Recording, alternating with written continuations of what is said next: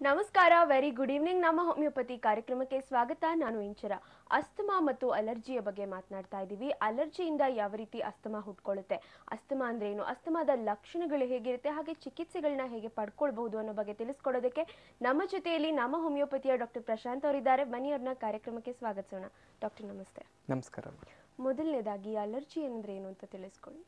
Basically ಮ ಈ allergy ಅನ್ನೋದಕ್ಕಿಂತ ಮುಂಚೆ ನಮ್ಮ ಬಾಡಿಲಿ ಒಂದು ಮೆಟಾಬಾಲಿಕ್ ಫಂಕ್ಷನ್ ಅನ್ನೋದು ಯಾವ ರೀತಿ ಇರುತ್ತೆ? ಸೊ ಅದರಲ್ಲಿ ಆ ಫಂಕ್ಷನಲ್ಲಿ ಸೊ ನಾರ್ಮಲಿ ನಡೆಯೋದಕ್ಕೆ ಏನೆಲ್ಲ ಸೆಲ್ಸ್ಗಳು ಹೆಲ್ಪ್ ಮಾಡ್ತಾ ಇದೆ ಅನ್ನೋದ್ರ ಬಗ್ಗೆ ಸ್ವಲ್ಪ ಹೇಳಕ್ಕೆ ಇಷ್ಟಪಡ್ತೀನಿ ಮ್ಯಾಮ್ ಈ ಒಂದು ಮೆಟಾಬಾಲಿಕ್ ಫಂಕ್ಷನ್ ನಮ್ಮಲ್ಲಿ ಬಾಡಿಯಲ್ಲಿ ಎಷ್ಟು ಇಂಪಾರ್ಟೆಂಟ್ ಇದೆ ಅಂದರೆ, ಪ್ರತಿಯೊಂದು ಆರ್ಗನ್ಸ್ಗಳು ಅದ್ರ ಫಂಕ್ಷನ್ ಅದು ನಾರ್ಮಲಿ ಮಾಡಬೇಕು ಅಂದರೆ, ಈ ಒಂದು ಮೆಟಾಬಾಲಿಕ್ ಫಂಕ್ಷನ್ ತುಂಬ ಇಂಪಾರ್ಟೆಂಟ್ ಇರುತ್ತೆ.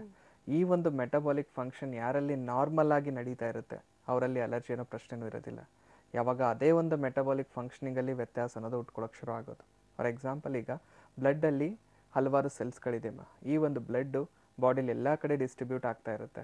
ಆ ಡಿಸ್ಟ್ರಿಬ್ಯೂಟ್ ಆಗ್ತಕ್ಕಂಥ ಬ್ಲಡ್ಡಿಂದ ಏನು ಸೆಲ್ಸ್ಗಳು ಎಲ್ಲ ಕಡೆ ಹರಡ್ತಾ ಇದೆ, ಈ ಒಂದು ಸೆಲ್ಸ್ಗಳಲ್ಲಿ ಸೊ ಮೋಸ್ಟು ಕಾಮನ್ ಆಗಿ ಅಥವಾ ನಮ್ಮ ಬಾಡಿನ ಪ್ರೊಟೆಕ್ಟ್ ಮಾಡ್ತಕ್ಕಂಥ ಒಂದಿಷ್ಟು ಸೆಲ್ಸ್ಗಳು ನಾವು ನೋಡೋದಾಗಿದ್ರೆ ಅಮ್ಮ ಡಬ್ಲ್ಯೂ ಬಿ ಸಿ ಆಗಿರ್ಬೋದು ಅಥವಾ ನ್ಯೂಟ್ರೋಫಿಲ್ಸ್ ಆಗಿರ್ಬೋದು ಮೋನೋಸೈಟ್ಸ್ ಆಗಿರ್ಬೋದು. ಸೊ ಈ ಒಂದು ಸೆಲ್ಸ್ಗಳ ಫಂಕ್ಷನ್ ಏನಾಗಿರುತ್ತೆ ಅಂದರೆ ಸೊ ಈಗ ಎನ್ವಿರಾನ್ಮೆಂಟಲ್ಲಿ ಸೊ ಇನ್ಫೆಕ್ಷನ್ ಅದು ಇದ್ದೇ ಇರುತ್ತೆ. ಬ್ಯಾಕ್ಟ್ರಿಯಲ್ ಆಗಿರ್ಬೋದು ವೈರಲ್ ಆಗಿರ್ಬೋದು ನಾವು ಅದೇ ಎನ್ವಿರಾನ್ಮೆಂಟಲ್ಲಿ ಬದುಕ್ತಾ ಇದ್ದೀವಿ ಅಂದಾಗ ಆ ಒಂದು ಇನ್ಫೆಕ್ಷನ್ಗೆ ನಮ್ಮ ಬಾಡಿ ಎಕ್ಸ್ಪೋಸ್ ಆಗ್ತಾನೆ ಇರುತ್ತೆ ಪ್ರತಿನಿತ್ಯ.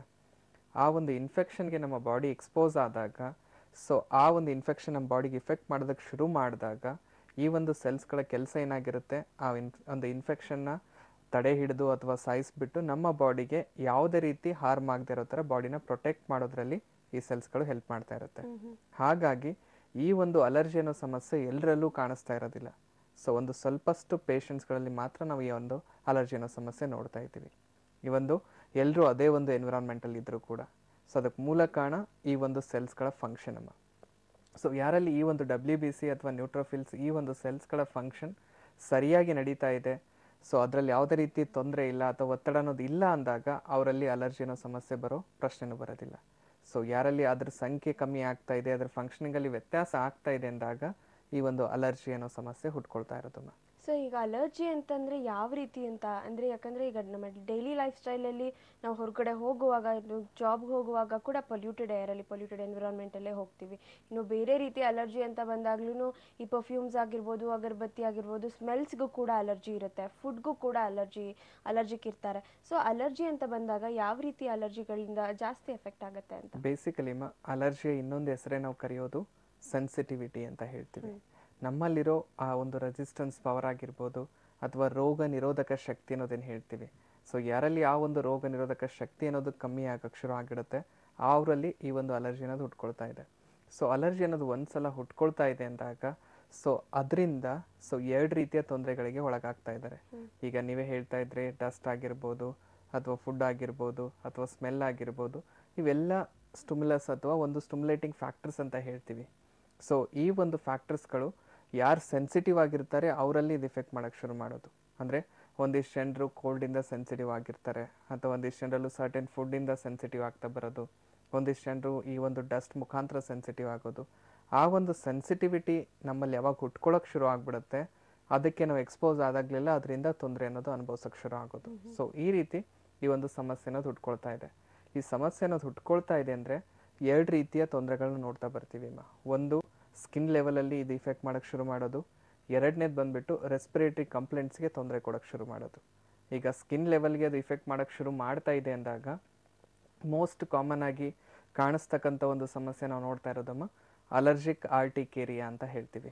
ಸೊ ಅಲರ್ಜಿಕ್ ಆರ್ಟಿಕೇರಿಯಾ ಅನ್ನೋ ಸಮಸ್ಯೆ ಬೇಸಿಕಲಿ ಇದು ಬರ್ತಾ ಇದೆ ಈ ಒಂದು ಅಲರ್ಜಿ ಮುಖಾಂತರ ಅಂದರೆ ಇಲ್ಲಿ ನಾವು ನೋಡ್ತಕ್ಕಂಥ ಒಂದಿಷ್ಟು ಸಿಂಪ್ಟಮ್ಸ್ಗಳು ನೋಡೋದಾಗಿದ್ರೆ ಅಮ್ಮ ಸೊ ಈ ಒಂದು ಅಲರ್ಜಿಕ್ ಅಥವಾ ರೆಡ್ ರ್ಯಾಷಸ್ ಅಂತ ಹೇಳ್ತೀವಿ, ಆ ಸ್ಕಿನ್ ಮೇಲೆ ಆ ರ್ಯಾಷಸ್ ಉಟ್ಕೊಂಡಾಗ ನವೆ ಆಗಿರೋದಾಗಿರ್ಬೋದು, ಉರಿ ಉರಿ ಅನ್ಸೋದಕ್ಕೆ ಶುರು ಆಗ್ಬಿಡುತ್ತೆ, ಇರಿಟೇಷನ್ ತುಂಬ ಆಗಕ್ಕೆ ಶುರು ಆಗ್ಬಿಡುತ್ತೆ. ಸೊ, ಈ ರೀತಿ ಸಿಮ್ಟಮ್ಸ್ ಅನ್ನೋದು ಹುಟ್ಕೊಂಡಿದೆ ಅಂದಾಗ, ಜನರಲಿ ಅದು ಪರ್ಸಿಸ್ಟ್ ಆಗೋದು ಯಾವ ರೀತಿ ಇದೆ ಅಂದರೆ ಒಂದು ಸರ್ಟನ್ ಫುಡ್ ತೊಗೊಂಡಿದ್ದೀವಿ ಎಕ್ಸಾಂಪಲ್, ತೊಗೊಂಡು ಕೂಡಲೇ ಅದರ ಇಫೆಕ್ಟ್ ಶುರು ಆಗಿಬಿಡುತ್ತೆ. ಇಫೆಕ್ಟ್ ಶುರು ಆದಾಗ, ಆ ಒಂದು ಸಿಮ್ಟಮ್ಸನ್ನು ತೋರಿಸಿದಾಗ, maximum two to three hours ಅದು ಪರ್ಸಿಸ್ಟ್ ಆಗ್ತಾ ಇರುತ್ತೆ. ಸೊ ವಿದಿನ್ ತ್ರೀ ಅವರ್ಸಲ್ಲಿ ಮತ್ತೆ ಆಟೋಮೆಟಿಕಲಿ ಡಿಸಪಿಯರ್ ಆಗೋದು. ಸೊ ಯಾವಾಗ ಯಾವಾಗ ನಾವು ಆ ಒಂದು ಫುಡ್ ತಗೋತಾ ಇರ್ತೀವಿ, ಆ ಒಂದು ಕಂಡೀಷನಲ್ಲಿ ಎಲ್ಲ ಟೈಮಲ್ಲೂ ಈ ಥರ ಒಂದು ಅಲರ್ಜಿಕ್ ರ್ಯಾಷಸ್ ಅನ್ನೋದು ಹುಟ್ಕೊಳಕ್ಕೆ ಶುರು ಆಗೋದು. ಆ ಒಂದು ಕಂಡೀಷನ್ನ ನಾವು ಅಲರ್ಜಿಕ್ ಆರ್ಟಿಕೇರಿಯಾ ಅಂತ ಹೇಳ್ತಾ ಇದ್ದೀವಿ ಅಮ್ಮ ಸೊ ಈ ಥರ ಒಂದು ಅಲರ್ಜಿಕ್ ರ್ಯಾಷಸ್ ಅನ್ನೋದು ಹುಟ್ಕೊಂಡಾಗ ಜನರಲಿ ಯಾರ್ಯಾರು ಕ್ಲೀನ್ ಮಾಡ್ತಿದ್ದಾರೆ, ಒಂದಿಷ್ಟು ಈ ಒಂದು ಸಿಟ್ರಿಸನ್ ಅಥವಾ ಅಲರ್ಜಿ ರಿಲೇಟೆಡ್ ಟ್ಯಾಬ್ಲೆಟ್ಸ್ನ ತೊಗೊಳಕ್ಕೆ ಶುರು ಮಾಡೋದು. ಸೊ ಆ ರೀತಿ ಒಂದು ಮೆಡಿಕೇಷನ್ನ ನೀವು ತಗೊಳ್ಳೋದ್ರಿಂದ ಮ್ಯಾಕ್ಸಿಮಮ್ ಮೇಲ್ಗಡೆ ಏನು ಆ ಟೈಮಲ್ಲಿ ಅದು ಇಫೆಕ್ಟ್ ಆಗಿರುತ್ತೆ, ಆ ಇಫೆಕ್ಟಿಂದ ಹೊರಗೆ ಬರೋದಕ್ಕೆ ಹೆಲ್ಪ್ ಆಗ್ಬೋದು. ಅಥವಾ ಒಂದು ಟೆಂಪರರಿ ಲೀಫ್ನ ಪಡ್ಕೊಳ್ಳೋದಕ್ಕೆ ಹೆಲ್ಪ್ ಆಗೋದು. ಮತ್ತೆ ಯಾವಾಗ ಆ ಫುಡ್ ತಗೋತೀವಿ ಅಥವಾ ಏನಾದರೂ ಒಂದು ಸ್ಟುಮ್ಲೆಸ್ಗೆ ಎಕ್ಸ್ಪೋಸ್ ಆಗಿದ್ದೀವಿ ಅಂದಾಗ ಮತ್ತೆ ಆ ಸಮಸ್ಯೆಗಳು ರಿಪೀಟೆಡ್ ಆಗಿ ಬರೋಕ್ಕೆ ಶುರು ಆಗೋದು. ಸೊ ಈ ಒಂದು ಸಮಸ್ಯೆಯಿಂದ ಕಂಪ್ಲೀಟ್ ಆಗಿ ಹೊರಗೆ ಬರಬೇಕು, ಅದು ಮತ್ತೆ ಬರದೇ ಇರೋ ಥರ ಮಾಡ್ಕೋಬೇಕು ಅಂದರೆ ಮೇಲ್ಗಡೆ ಇರೋ ಸಿಮ್ಟಮ್ಸಿಗಂತಲ್ಲ ಆ ಸಿಮ್ಟಮ್ಸ್ ಬರೋದಕ್ಕೆ ಈ ಮೂಲ ಕಾರಣ ಅಲರ್ಜಿ ಅನ್ನೋದೇನಿದೆ. ಅಲರ್ಜಿಗೆ ನಾವು ಟ್ರೀಟ್ಮೆಂಟ್ ತಗೊಂಡಾಗ ಸೊ ಸಂಪೂರ್ಣವಾಗಿ ವಾಸಿ ಆಗೋದಕ್ಕೂ ಹೆಲ್ಪ್ ಆಗಿಬಿಡುತ್ತೆ. ಪ್ಲಸ್ ಏನು ನಾವು ನಮ್ಮನ್ನು ರಿಸ್ಟ್ರಿಕ್ಟ್ ಮಾಡ್ಕೊಳ್ತಾ ಇರ್ತೀವಿ ಒಂದು ಫುಡ್ಡಿಂದ ಅಥವಾ ಡಸ್ಟಿಂದ ಕೋಲ್ಡ್ ಐಟಮ್ಸಿಂದ ಆ ಎಲ್ಲ ಫುಡ್ಗಳು ತಗೊಂಡ್ರೂ ಕೂಡ ಯಾವುದೇ ಸಮಸ್ಯೆ ಮತ್ತೆ ತಿರುಗಿ ಬರುತ್ತೆ ಅನ್ನೋ ಟೆನ್ಷನ್ ಇಲ್ಲ ಅನ್ನೋ ಸ್ಥಿತಿ ತಗೊಂಡು ಹೋಗೋದಕ್ಕೂ ಹೆಲ್ಪ್ ಆಗುತ್ತಾ ಬರುತ್ತೆ ಅಂತಲೂ ಹೇಳ್ಬೋದು ಇದು ನಾವು ಸ್ಕಿನ್ ಲೆವೆಲಲ್ಲಿ ನೋಡ್ತಾ ಇದ್ದೀವಿ. ಓಕೆ ಈಗ ನೆಕ್ಸ್ಟ್ ರೆಸ್ಪಿರೇಟರಿ ಕಂಪ್ಲೇಂಟ್ಸಲ್ಲಿ ನೋಡೋದಾಗಿದ್ರೆ ಅಮ್ಮ. ಸೊ ರೆಸ್ಪಿರೇಟರಿ ಕಂಪ್ಲೇಂಟ್ಸಲ್ಲಿ ಬೇಸಿಕಲಿ ಫೋರ್ ಗ್ರೇಡ್ಸ್ ಅಥವಾ ಫೋರ್ ಸ್ಟೇಜಸ್ ಆಗಿ ಈ ಒಂದು ಸಮ ಸಮಸ್ಯೆನ ನಾವು ಡಿವೈಡ್ ಮಾಡ್ತಾ ಬರ್ತೀವಿ.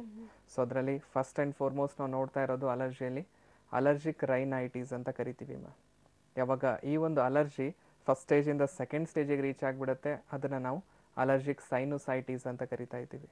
ಸೊ ಸೆಕೆಂಡ್ ಸ್ಟೇಜಿಂದ ಯಾವಾಗ ಥರ್ಡ್ ಸ್ಟೇಜಿಗೆ ರೀಚ್ ಆಗ್ತಾ ಇದೆ ಅಂದಾಗ ಆ ಒಂದು ಸಮಸ್ಯೆನ ಅಲರ್ಜಿಕ್ ಬ್ರಾಂಕೈಟಿಸ್ ಅಂತ ಕರಿತಾ ಇದ್ದೀವಿ. ಸೊ ಥರ್ಡ್ ಸ್ಟೇಜಿಂದ ಇಟ್ ಲಾಸ್ಟ್ ಯಾವಾಗ ಅದು ನಾಲ್ಕನೇ ಸ್ಟೇಜ್ ಅಥವಾ ಲಾಸ್ಟ್ ಸ್ಟೇಜಿಗೆ ರೀಚ್ ಆದಾಗ ಈ ಒಂದು ಸಮಸ್ಯೆನ ನಾವು ಅಲರ್ಜಿಕ್ ಅಸ್ತಮ ಅಂತ ಕರಿತಾ ಇದ್ದೀವಿ.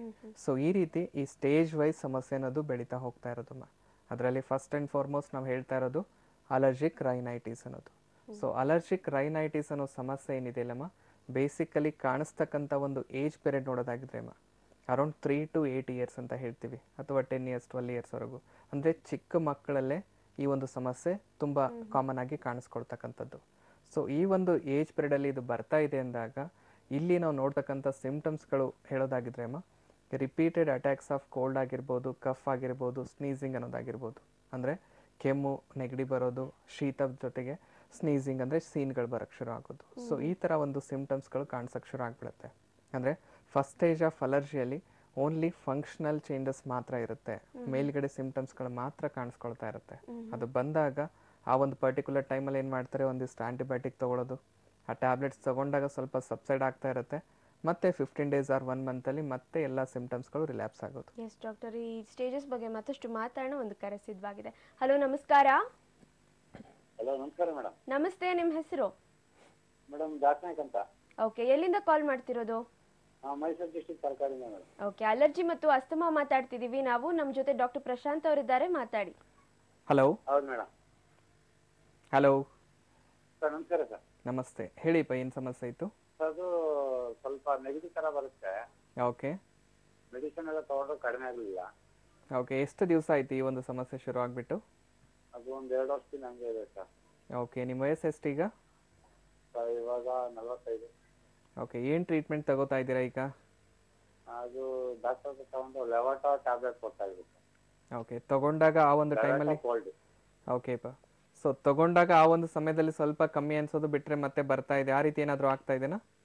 ಹೌದು ಸರ್. ಓಕೆ ಸೊ ಇಷ್ಟಕ್ಕೆ ಮುಂಚೆ ಅದ್ರ ಬಗ್ಗೆ ನಾನು ಸ್ವಲ್ಪ ಗೈಡ್ ಮಾಡ್ತಾ ಇದ್ದೆಪ್ಪ ಈಗ ಮೇಲ್ಗಡೆ ಏನು ಸಿಂಪ್ಟಮ್ಸ್ ಬರ್ತಾ ಇದೆ? ಈಗ ಕೋಲ್ಡ್ ಆಗಿರ್ಬೋದು ಕಫ್ ಆಗಿರ್ಬೋದು ಮೂಗಿಂದ ನೀರ್ ಕಡಿಯೋದು ಸೀನ್ ಬರೋದು. ಈ ಥರ ಒಂದಿಷ್ಟು ಸಿಮ್ಟಮ್ಸ್ಗಳು ಬಂದಾಗ ಜನರಲಿ ನಾವೇನು ಮಾಡ್ತೀವಿ? ಆ ಒಂದು ಸಿಮ್ಟಮ್ಸ್ಗಳಿಗೆ ಮಾತ್ರ ಟ್ರೀಟ್ಮೆಂಟ್ನ ತಗೋತಾ ಹೋಗ್ತೀವಿ. ಆ ಒಂದು ಲಕ್ಷಣಗಳಿಗೆ ಮಾತ್ರ ಟ್ರೀಟ್ಮೆಂಟ್ ತಗೋತಾ ಇದ್ದೀವಿ ಅಂದಾಗ ತಗೊಂಡಾಗ ಅದು ಹೋಗ್ತಾ ಇರುತ್ತೆ ಬಿಟ್ಟರೆ ಮತ್ತೆ ಬರೋಕ್ಕೆ ಶುರು ಆಗೋದು. ಸೊ ಈ ಒಂದು ಸಮಸ್ಯೆಯಿಂದ ಕಂಪ್ಲೀಟಾಗಿ ಹೊರಗೆ ಬರಬೇಕು ಅಂದ್ರೆಪ್ಪ ಆ ಒಂದು ಸಿಮ್ಟಮ್ಸ್ಗಳು ಬರೋದಕ್ಕೆ ಒಳಗಡೆ ಮೂಲ ಕಾರಣಗಳೇನಿದೆ? ನಮ್ಮಲ್ಲಿ ಯಾವ ರೀತಿ ಮೆಟಬಾಲಿಕ್ ಫಂಕ್ಷನಿಂಗಲ್ಲಿ ವ್ಯತ್ಯಾಸ ಆಗಿದೆ? ಆ ಒಂದು ಮೆಟಬಾಲಿಕ್ ಫಂಕ್ಷನ್ನ ನಾವು ಸರಿಪಡಿಸೋದಕ್ಕೆ ಟ್ರೀಟ್ಮೆಂಟ್ನ ತಗೊಂಡಾಗ ಈ ಒಂದು ಸಮಸ್ಯೆಯಿಂದ ಸಂಪೂರ್ಣವಾಗಿ ಹೊರಗೆ ಬರೋದಕ್ಕೆ ಹೆಲ್ಪ್ ಆಗುತ್ತೆ ನೋಡಿಪ್ಪ ಸೊ ಟ್ರೀಟ್ಮೆಂಟು ಇದೆ ನಮ್ಮ ಹೋಮಿಯೋಪತಿಯಲ್ಲಿ ಕಂಪ್ಲೀಟಾಗಿ ವಾಸಿ ಮಾಡೋದಕ್ಕೂ ಹೆಲ್ಪ್ ಮಾಡ್ತಾ ಇದ್ದೀವಿ. ಸೊ ಒಂದ್ಸಲ ಬಂದು ಭೇಟಿಯಾಗಿ ಆ ಸಮಸ್ಯೆನ ಎಷ್ಟು ಮಟ್ಟಿಗೆ ಬೆಳ್ಕೊಂಡಿದೆ ಎಕ್ಸಾಮಿನೇಷನ್ ಮೂಲಕ ತಿಳ್ಕೊಳ್ಳೋದಕ್ಕೆ ಹೆಲ್ಪ್ ಆಗಿಬಿಡುತ್ತೆ. ಅದೇ ರೀತಿ ಆ ಒಂದು ಸಮಸ್ಯೆಯಿಂದ ಕಂಪ್ಲೀಟ್ ಆಗಿ ಹೊರಗೆ ಬರೋದಕ್ಕೂ ಹೆಲ್ಪ್ ಮಾಡ್ಬೋದು ನೋಡಿಪ್ಪ ನಮಸ್ಕಾರ. ಕರೆ ಮಾಡಿದ್ದಕ್ಕೆ ಧನ್ಯವಾದಗಳು. ಮತ್ತೊಂದು ಕರೆ ಸಿದ್ಧವಾಗಿದೆ. ಹಲೋ ನಮಸ್ಕಾರ. ಹಲೋ ನಮಸ್ತೆ. ಹಲೋ? ಹಲೋ? ನಮಸ್ತೆ ಮಾ ಹೇಳಿ ನಿಮ್ಮ ಹೆಸರು? ನನ್ನ ಹೆಸರು ಶಶಿಕಲಾ ಅಂತ ಮೇಡಮ್. ಅಸ್ತಮ ಇದೆ. ಓಕೆ ಡಾಕ್ಟರ್ ಜೊತೆ ಮಾತಾಡಿ ಮಾ. ಹಲೋ? ನಮಸ್ತೆ ಮೇಡಮ್. ನಮಸ್ತೆ ಅಮ್ಮ ಹೇಳಿ ಏನ್ ಸಮಸ್ಯೆ ಇತ್ತು? ನಮ್ಗೆ ಅಸ್ತಮ ಇದೆ. ಯಾವಾಗ್ಲೂ ಒಂದು ಅದೇ ಹೋಗಂಗಿಲ್ಲ ಏಳೆಂಟು ವರ್ಷದಿಂದ. ಓಕೆ ಮಾ ಹಾ ಹಾ ಹಾ. ಸರ್ ಇದು ಆಯುರ್ವೇದ ಇದು ಹೋಮಿಯೋಪತಿ ತಗೊಂಡ್ರೆ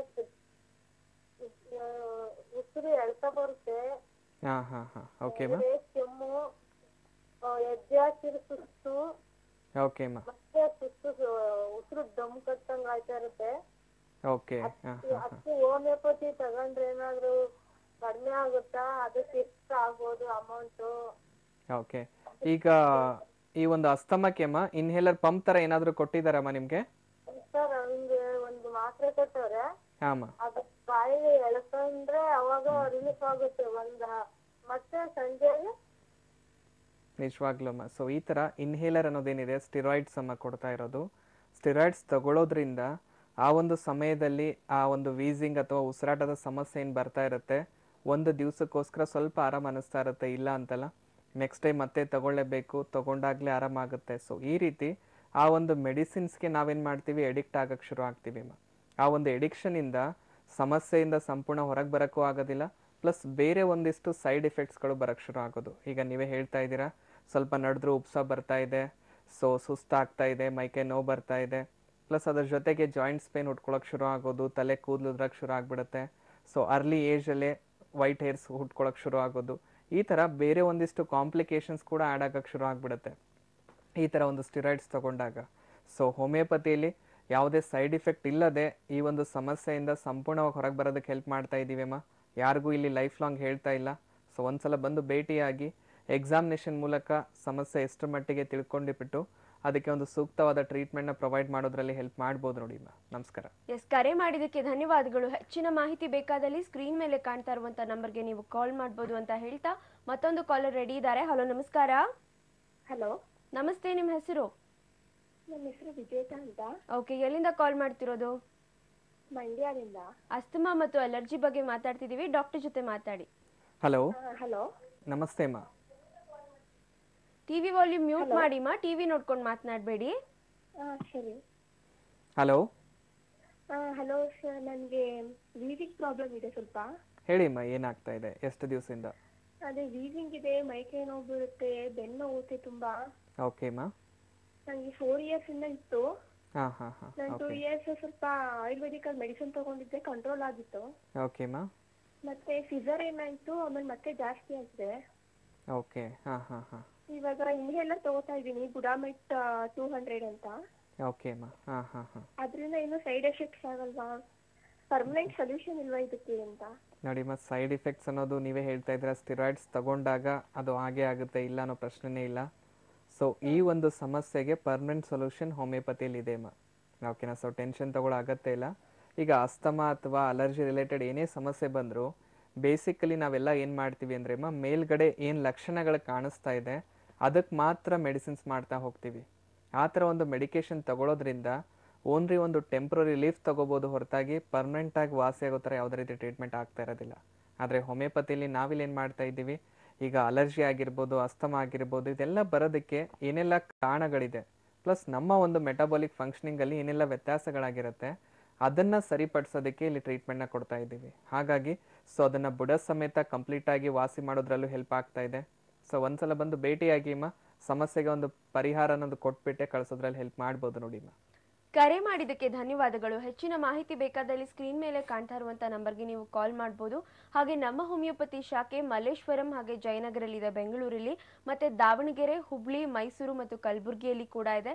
ನಿಮಗೆ ಹತ್ತಿರವಿರುವಂತಹ ಶಾಖೆಗೆ ಹೋಗಿ ನೀವು ಭೇಟಿ ಮಾಡ್ಬೋದು. Yes doctor allergy allergic rhinitis ಬಗ್ಗೆ ಹೇಳ್ತಾ ಇದೆ ಅದರಲ್ಲಿ ಲಕ್ಷಣಗಳು ಹೇಗಿರುತ್ತೆ ಅಂತ. ಸೊ ಏನು ಆ ಲಕ್ಷಣಗಳು ಹೆಚ್ಚಿದ್ರೆ ಈ ಸೈನಸೈಟಿಸ್ ಹುಟ್ಕೊಳ್ಳುತ್ತಾ ಅಥವಾ ಹೇಗೆ ಅಂತ? ಸೊ ಬೇಸಿಕಲಿ ಇಲ್ಲಿ ಲಕ್ಷಣಗಳು ನಾನು ಹೇಳ್ತಾ ಇದ್ದೆ. ರಿಪೀಟೆಡ್ ಆಗಿ ಒಂದು ಕೋಲ್ಡ್ ಬರೋದಾಗಿರ್ಬೋದು ಕಫ್ ಬರೋದಾಗಿರ್ಬೋದು, ಅದರ ಜೊತೆಗೆ ಅರ್ಲಿ ಮಾರ್ನಿಂಗ್ ಟೈಮಲ್ಲಿ ಸ್ವಲ್ಪ ಸೀನ್ಗಳು ಜಾಸ್ತಿ ಬರೋಕ್ಕೆ ಶುರು ಆಗೋದು, ಮೂಗಿಂದ ನೀರು ಕಡಿಯೋಕ್ಕೆ ಶುರು ಆಗಿಬಿಡುತ್ತೆ ನೋಸ್ ಅನ್ನೋದು ಬ್ಲಾಕ್ ಆಗೋಕ್ಕೆ ಶುರು ಆಗೋದು, ಈ ಥರ ಒಂದು ಫಂಕ್ಷನಲ್ ವ್ಯತ್ಯಾಸ ಮಾತ್ರ ಕಾಣಿಸ್ಕೊಳ್ತಾ ಇರುತ್ತೆ. ಸೊ ಆ ಆ ಥರ ಒಂದಿಷ್ಟು ಸಿಮ್ಟಮ್ಸ್ ಬಂದಾಗ, ಈಗ ಒಂದು ಮೂರು ವರ್ಷ, ನಾಲ್ಕು ವರ್ಷ ಮಕ್ಕಳಲ್ಲಿ ಅದು ಬರ್ತಾ ಇದೆ ಅಂದಾಗ, ಯಾರೇ ಆಗಲಿ ನಾವೇನು ಮಾಡ್ತೀವಿ, ಈಗ ಈ ಒಂದು ಟೈಮ್ ಪೀರಿಯಡಲ್ಲಿ ಅದು ವಾಸಿ ಆದರೆ ಸಾಕು. ಸೊ ಒಂದಿಷ್ಟು ಆ್ಯಂಟಿಬಯೋಟಿಕ್ಸ್ ತಗೊಳ್ಳೋದು ಅಥವಾ ಕಫ್ ಸಿರಪ್ ಕೊಡೋದು, ಸ್ವಲ್ಪ ನೆಬ್ಲೈಸೇಷನ್ ಮಾಡಿಸೋದು, ಈ ಥರ ನಾವು ಆರ್ಟಿಫಿಷಿಯಲ್ ಟ್ರೀಟ್ಮೆಂಟ್ನ ಮಾಡ್ತಾ ಹೋದಷ್ಟು ಏನಾಗ್ಬಿಡತ್ತೆಮ್ಮ ನಮ್ಮಲ್ಲಿರೋ ಒಂದು ಆ್ಯಂಟಿಬಾಡೀಸ್ಗಳ ಫಂಕ್ಷನ್ ಕಮ್ಮಿ ಆಗ್ತಾ ಇರೋದ್ರಿಂದ ಈ ಒಂದು ಇನ್ಫೆಕ್ಷನ್ಗೆ ತುತ್ತಾಗ್ತಾ ಇರ್ತಾರೆ ಮಕ್ಕಳು ಆ ಥರ ತುತ್ತಾದಾಗ ನಾವು ಹೊರಗಡೆಯಿಂದ ಆ್ಯಂಟಿಬಯೋಟಿಕ್ಸ್ ಕೊಡ್ತಾ ಹೋದರೆ ಇನ್ನೂ ನಮ್ಮಲ್ಲಿರೋ ಆ್ಯಂಟಿಬಾಡೀಸ್ಗಳ ಫಂಕ್ಷನ್ ಲೋ ಆಗ್ತಾ ಹೋಗೋದು ಇನ್ನೂ ವೀಕ್ ಆಗ್ತಾ ಬರ್ತಾರೆ. ಆ ಇನ್ನೂ ಸೆನ್ಸಿಟಿವಿಟಿ ಬೆಳೀತಾ ಹೋದಷ್ಟು ಏನಾಗ್ಬಿಡುತ್ತೆ fifteen days once monthly once repeated ಆಗಿ ಆ ಇನ್ಫೆಕ್ಷನ್ ಉಟ್ಕೊಳ್ಳೋಕೆ ಶುರು ಆಗೋದು. ಯಾವಾಗ ಅದು ರಿಪೀಟೆಡ್ ಆಗಿ ಬರಕ್ ಶುರು ಆಗ್ಬಿಡುತ್ತೆ ಆ ಒಂದು ಸಮಸ್ಯೆನೇ ನಾವು ಅಲರ್ಜಿಕ್ ರೈನೈಟಿಸ್ ಅಂತ ಹೇಳ್ತಾ ಇದ್ದೀವಿ. ಸೊ ಇದಾದ್ಮೇಲೂ ಹಾಗೆ ನೆಗ್ಲೆಕ್ಟ್ ಮಾಡಿದಾಗೆ ಒಂದು ಆರು ತಿಂಗಳಾಯಿತು ವರ್ಷ ಆಯಿತು ಎರಡು ವರ್ಷ ಆಯಿತು ಹಾಗೆ ಮುಂದೂಡ್ತಾ ಇದ್ದಾರೆ ಅಂದಾಗ ಇದೇ ಒಂದು ಸಮಸ್ಯೆ ಬೆಳ್ಕೊಳ್ಳೋದಕ್ಕೆ ಶುರು ಆಗೋದು. ಸೊ ಯಾವಾಗ ಅದು ಬೆಳ್ಕೊಳ್ಳೋಕೆ ಶುರು ಆಗ್ಬಿಡುತ್ತೆ? ಸೊ ಓನ್ಲಿ ಈಗ ಅಪ್ಪರ್ ರೆಸ್ಪಿರೇಟರಿ ಟ್ರ್ಯಾಕ್ ಅಥವಾ ಓನ್ಲಿ ಸೂಪರ್ಫಿಷಿಯಲ್ ಇನ್ಫೆಕ್ಷನ್ ಏನಿದೆ ಡೀಪರ್ ಪಾರ್ಟ್ಸ್ಗೂ ಹರಡಕ್ಕೆ ಶುರು ಆಗೋದು. Deeper parts in the sense ಈಗ ಸೆಕೆಂಡ್ ಸ್ಟೇಜ್ಗೆ ಅದು ರೀಚ್ ಆದಾಗ ಒಂದು ತ್ರೀ ಪಾರ್ಟ್ಸ್ಗೆ ಇಫೆಕ್ಟ್ ಮಾಡೋಕ್ಕೆ ಶುರು ಮಾಡಿಬಿಡುತ್ತೆ ಇಮ್ಮ ಒಂದು ಫ್ರಂಟಲ್ ಸೈನಸ್ ಆಗಿರ್ಬೋದು ಎರಡನೇದು ಮ್ಯಾಕ್ಸಿಲರಿ ಸೈನಸ್ ಅಂತ ಹೇಳ್ತೀವಿ ಮೂರನೇದು ಥ್ರೋಟ್ ಅಥವಾ ಟಾನ್ಸಿಲ್ಸ್ಗೆ ಇಫೆಕ್ಟ್ ಮಾಡೋಕ್ಕೆ ಶುರು ಮಾಡಿಬಿಡುತ್ತೆ. ಯಾವಾಗ ಈ ಒಂದು ತ್ರೀ ಪಾರ್ಟ್ಸ್ಗಳು ಇನ್ಫೆಕ್ಷನ್ಗೆ ಎಕ್ಸ್ಪೋಸ್ ಆಗಿಬಿಡುತ್ತೆ ಅದ್ರ ಮೂಲಕ ಅದ್ರ ರಿಲೇಟೆಡ್ ಕಾಂಪ್ಲಿಕೇಶನ್ಸ್ ಕೂಡ ಆ್ಯಡ್ ಆಗಕ್ಕೆ ಶುರು ಆಗುತ್ತೆ. ಡಾಕ್ಟರ್ ಇದ್ರ ಬಗ್ಗೆ ಮತ್ತಷ್ಟು ಮಾತಾಡೋಣ ಒಂದು ಕರೆ ಸಿದ್ಧವಾಗಿದೆ. ಹಲೋ ನಮಸ್ಕಾರ. ಹಲೋ ಹಲೋ ನಮಸ್ತೆ ನಿಮ್ಮ ಹೆಸರು? ಹಲೋ ಹೇಳಿ ನಿಮ್ಮ ಹೆಸರು? ಹಲೋ? ಹಲೋ? ಹೇಳಿ ಮೇಡಮ್ ನಿಮ್ಮ ಹೆಸರು? ಹಲೋ? ಹಲೋ ಕೇಳಿಸ್ತಾ ಇದೆಯಾ? ಎಸ್ ಕರೆ ಕಟ್ ಆಗಿದೆ ಅನ್ಸುತ್ತೆ. ಎಸ್ ಡಾಕ್ಟರ್ ನೀವು ಹೇಳ್ತಾ ಇದ್ರಿ. ಸೊ ಫ್ರಂಟಲ್ ಸೈನಸ್ ಮ್ಯಾಕ್ಸಿಲಿ ಇಂದ ಅದು ಎಷ್ಟೋ ಭಾಗಗಳಿಗೆ ಹರಡ್ಕೊಳ್ಳುವಂಥ ಚಾನ್ಸಸ್ ಇರುತ್ತೆ. ಕರೆಕ್ಟ್ ಟ್ರೀಟ್ ಮಾಡಿಲ್ಲ ಅಂತಂದ್ರೆ.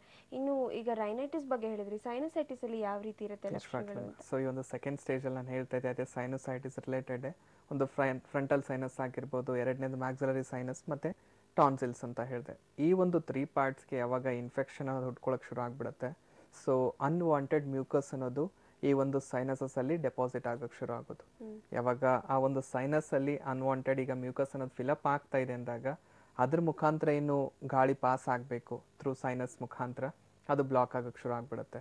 ಯಾವಾಗ ಅದು ಬ್ಲಾಕ್ ಆಗಿದೆ ಅಂದಾಗ ಏನಾಗ್ಬಿಡುತ್ತೆ? ಈ ಒಂದು ಕೋಲ್ಡ್ ಕಫ್ ಸ್ನೀಸಿಂಗ್ ಅಥವಾ ನೋಸ್ ಬ್ಲಾಕ್ ಜೊತೆಗೆ ಸೊ ತಲೆನೋವು ಫ್ರಂಟಲ್ ಹೆಡ್ಡೇಕ್ ಅಂತ ಹೇಳ್ತೀವಿ. ಮುಖ ಎಲ್ಲ ಭಾರ ಅನ್ಸಕ್ಕೆ ಶುರು ಆಗೋದು.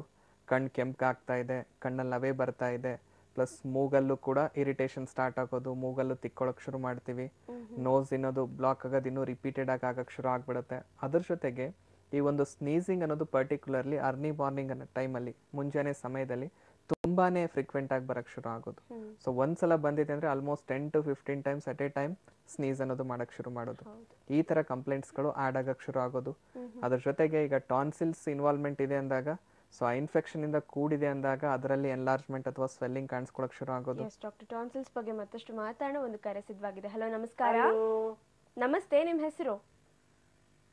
ಹಲೋ ಹಲೋ ಹೇಳಿ ನಿಮ್ಮ ಹೆಸರು? ಹಲೋ ಹೇಳಿಮ್ಮ ನಿಮ್ಮ ಹೆಸರು? ಹಲೋ ಕೇಳಿಸ್ತಾ ಇದೆಮ್ಮ ಹೇಳಿ ನಿಮ್ಮ ಹೆಸರು? Hello hello TV volume mute ಮಾಡಿ ಟಿವಿ ನೋಡ್ಕೊಂಡು ಮಾತನಾಡಬೇಡಿ. ಮೇಡಮ್ ನಿಮ್ ಧ್ವನಿ ಕೇಳಂಗಿಲ್ಲ ನೋಡ್ರಿ ಯಾಕೋ. ಕೇಳ್ತಿದೆಮ್ಮ ಮಾತಾಡಿ ಹಲೋ? ಹಲೋ? ಹಲೋ? ಎಸ್ ಕರೆ ಕಟ್ ಆಗಿದೆ ಅನ್ಸುತ್ತೆ. ಎಸ್ ಡಾಕ್ಟರ್ ಹೇಳ್ತಾ ಇದ್ರಿ ಟಾನ್ಸಿಲ್ಸ್ ಆಗುವಂತ ಚಾನ್ಸಸ್ ಇರುತ್ತೆ ಅಂತ. ಹೇಗೆ ಸೊ ಈ ಒಂದು ಇನ್ಫೆಕ್ಷನ್ಗೆ ಎಕ್ಸ್ಪೋಸ್ ಆದಾಗ ಆ ಒಂದು ಟಾನ್ಸಿಲ್ಸ್ ಅಲ್ಲೂ ಕೂಡ ಎನ್ಲಾರ್ಜ್ಮೆಂಟ್ ಅನ್ನೋದು ಉಟ್ಕೊಳಕ್ ಶುರು ಆಗೋದು ಸೊ ಎನ್ಲಾರ್ಜ್ಮೆಂಟ್ ಇಂದ ಏನಾಗ್ಬಿಡುತ್ತೆ? ಟಾನ್ಸಿಲೈಟಿಸ್ ಅಂತ ಹೇಳ್ತೀವಿ. ಈ ತರ ಪಾರ್ಟ್ಸ್ ಎಲ್ಲ ಇಫೆಕ್ಟ್ ಆಗಕ್ಕೆ ಶುರು ಆಗೋದು ಈಗ ಫಸ್ಟ್ ಸ್ಟೇಜ್ ಅಲ್ಲಿ ಓನ್ಲಿ ಫಂಕ್ಷನಲ್ ಚೇಂಜಸ್ ಮಾತ್ರ ಇತ್ತು. ಯಾವಾಗ ಅದು ಸೆಕೆಂಡ್ ಸ್ಟೇಜಿಗೆ ರೀಚ್ ಆಗ್ತಾ ಇದೆ ಅಂದಾಗ ಏನಾಗ್ತಾ ಇದೆ? ಪ್ಯಾಥಾಲಜಿಕಲ್ ಚೇಂಜಸ್ ಹುಟ್ಕೊಳಕ್ ಶುರು ಆಗೋದು. ಸೊ ನಾರ್ಮಲ್ ಸ್ಟೇಜಲ್ಲಿರೋ ಈ ಒಂದು ಟಾನ್ಸಿಲ್ಸ್ ಫಂಕ್ಷನ್ ವ್ಯತ್ಯಾಸ ಆಗಕ್ಕೆ ಶುರು ಆಗಿಬಿಟ್ಟು ಅದರಲ್ಲಿ ಎನ್ಲಾರ್ಜ್ಮೆಂಟ್ ಕಾಣಿಸ್ಕೊಳ್ಳೋದಾಗಿರ್ಬೋದು. ಎಡಿನಾಯ್ಡ್ಸ್ಗಳಲ್ಲಿ ವ್ಯತ್ಯಾಸ ಅನ್ನೋದು ಉಟ್ಕೊಳಕ್ ಶುರು ಆಗೋದು. ಸೈನಸ್ಗಳಲ್ಲಿ ಅನ್ವಾಂಟೆಡ್ ಮ್ಯೂಕಸ್ ಅನ್ನೋದು ಫಿಲಪ್ ಆಗಕ್ಕೆ ಶುರು ಆಗೋದು. ಈ ರೀತಿ ಅನ್ವಾಂಟೆಡ್ ಮ್ಯೂಕಸ್ ಅಥವಾ ಈ ಒಂದು ಸ್ವೆಲ್ಲಿಂಗ್ ಕಾಣಿಸ್ಕೊಳ್ಳೋದ್ ಮುಖಾಂತರ ಈಗ ಎಷ್ಟೋ ಜನ ಏನು ಮಾಡ್ತಾ ಇದ್ದಾರೆ? ಸರ್ಜರಿಗೆ ಮೊರೆ ಹೋಗ್ತಾ ಇರೋದು. ಈಗ ಒಂದು ಸೈನೋಸೈಟಿಸ್ ಅಲ್ಲಿ ಏನಾಗ್ತಾ ಇದೆ? ಮ್ಯೂಕಸ್ ಅನ್ನೋದು ಫಿಲಪ್ ಆಗಿದೆ ಫ್ರಂಟಲ್ ಅಥವಾ ಮ್ಯಾಕ್ಸರಿ ಸೈನಸ್ ಅಲ್ಲಿ ಎಂದಾಗ ಅದು ಸರ್ಜರಿ ಮುಖಾಂತರ ಆ ಒಂದು ಮ್ಯೂಕಸ್ನ ತೆಗೆದು ಹಾಕೊಳ್ಳೋದು ಆದ್ರೆ ಥ್ರೂ ಸರ್ಜರಿಯಿಂದ ಮ್ಯೂಕಸ್ ಏನು ತೆಗೆದು ಹಾಕ್ತಾ ಇದ್ದೀರಾ ಆ ಒಂದು ಟೆಂಪ್ರರಿ ಪೀರಿಯಡ್ವರೆಗೂ ಒಂದು ಸಿಕ್ಸ್ ಮಂತ್ಸ್ ಒನ್ ಇಯರ್ವರೆಗೂ ಆರಾಮಾಗಿದೆ ಅನ್ನೋ ಥರ ಕಾಣಿಸೋಕೆ ಶುರು ಆಗಿಬಿಡುತ್ತೆ. ಮತ್ತೆ ಮ್ಯೂಕಸ್ ಫಿಲಪ್ ಆಗೇ ಆಗುತ್ತೆ. ಮತ್ತೆ ಆಗಿದೆ ಅಂದಾಗ ಮತ್ತೆ ಅದ್ರ ಬಗ್ಗೆ ತಲೆ ಕೆಡ್ಸ್ಕೊಳಕ್ ಶುರು ಮಾಡೋದು. ಅದ್ರ ರಿಲೇಟೆಡ್ ಮತ್ತೆ ಸಿಂಪ್ಟಮ್ಸ್ಗಳು ಆ್ಯಡ್ ಆಗೋಕೆ ಶುರು ಆಗೋದು. ಸೊ ಈ ರೀತಿ ಇದೆ ಅಂದಾಗ ಈಗ ಫ್ರಂಟಲ್ ಸೈನಸ್ ಆಗಿರ್ಬೋದು ಮ್ಯಾಗ್ದಲಿ ಸೈನಸ್ ಅಲ್ಲಿ ಏನಿದು ಅನ್ವಾಂಟೆಡ್ ಮ್ಯೂಕಸ್ ಅನ್ನೋದು ಫಿಲಪ್ ಆಗ್ತಿದೆ ಅಂದರೆ ಅದಕ್ಕೆ ಏನು ಕಾರಣಗಳಿದೆ?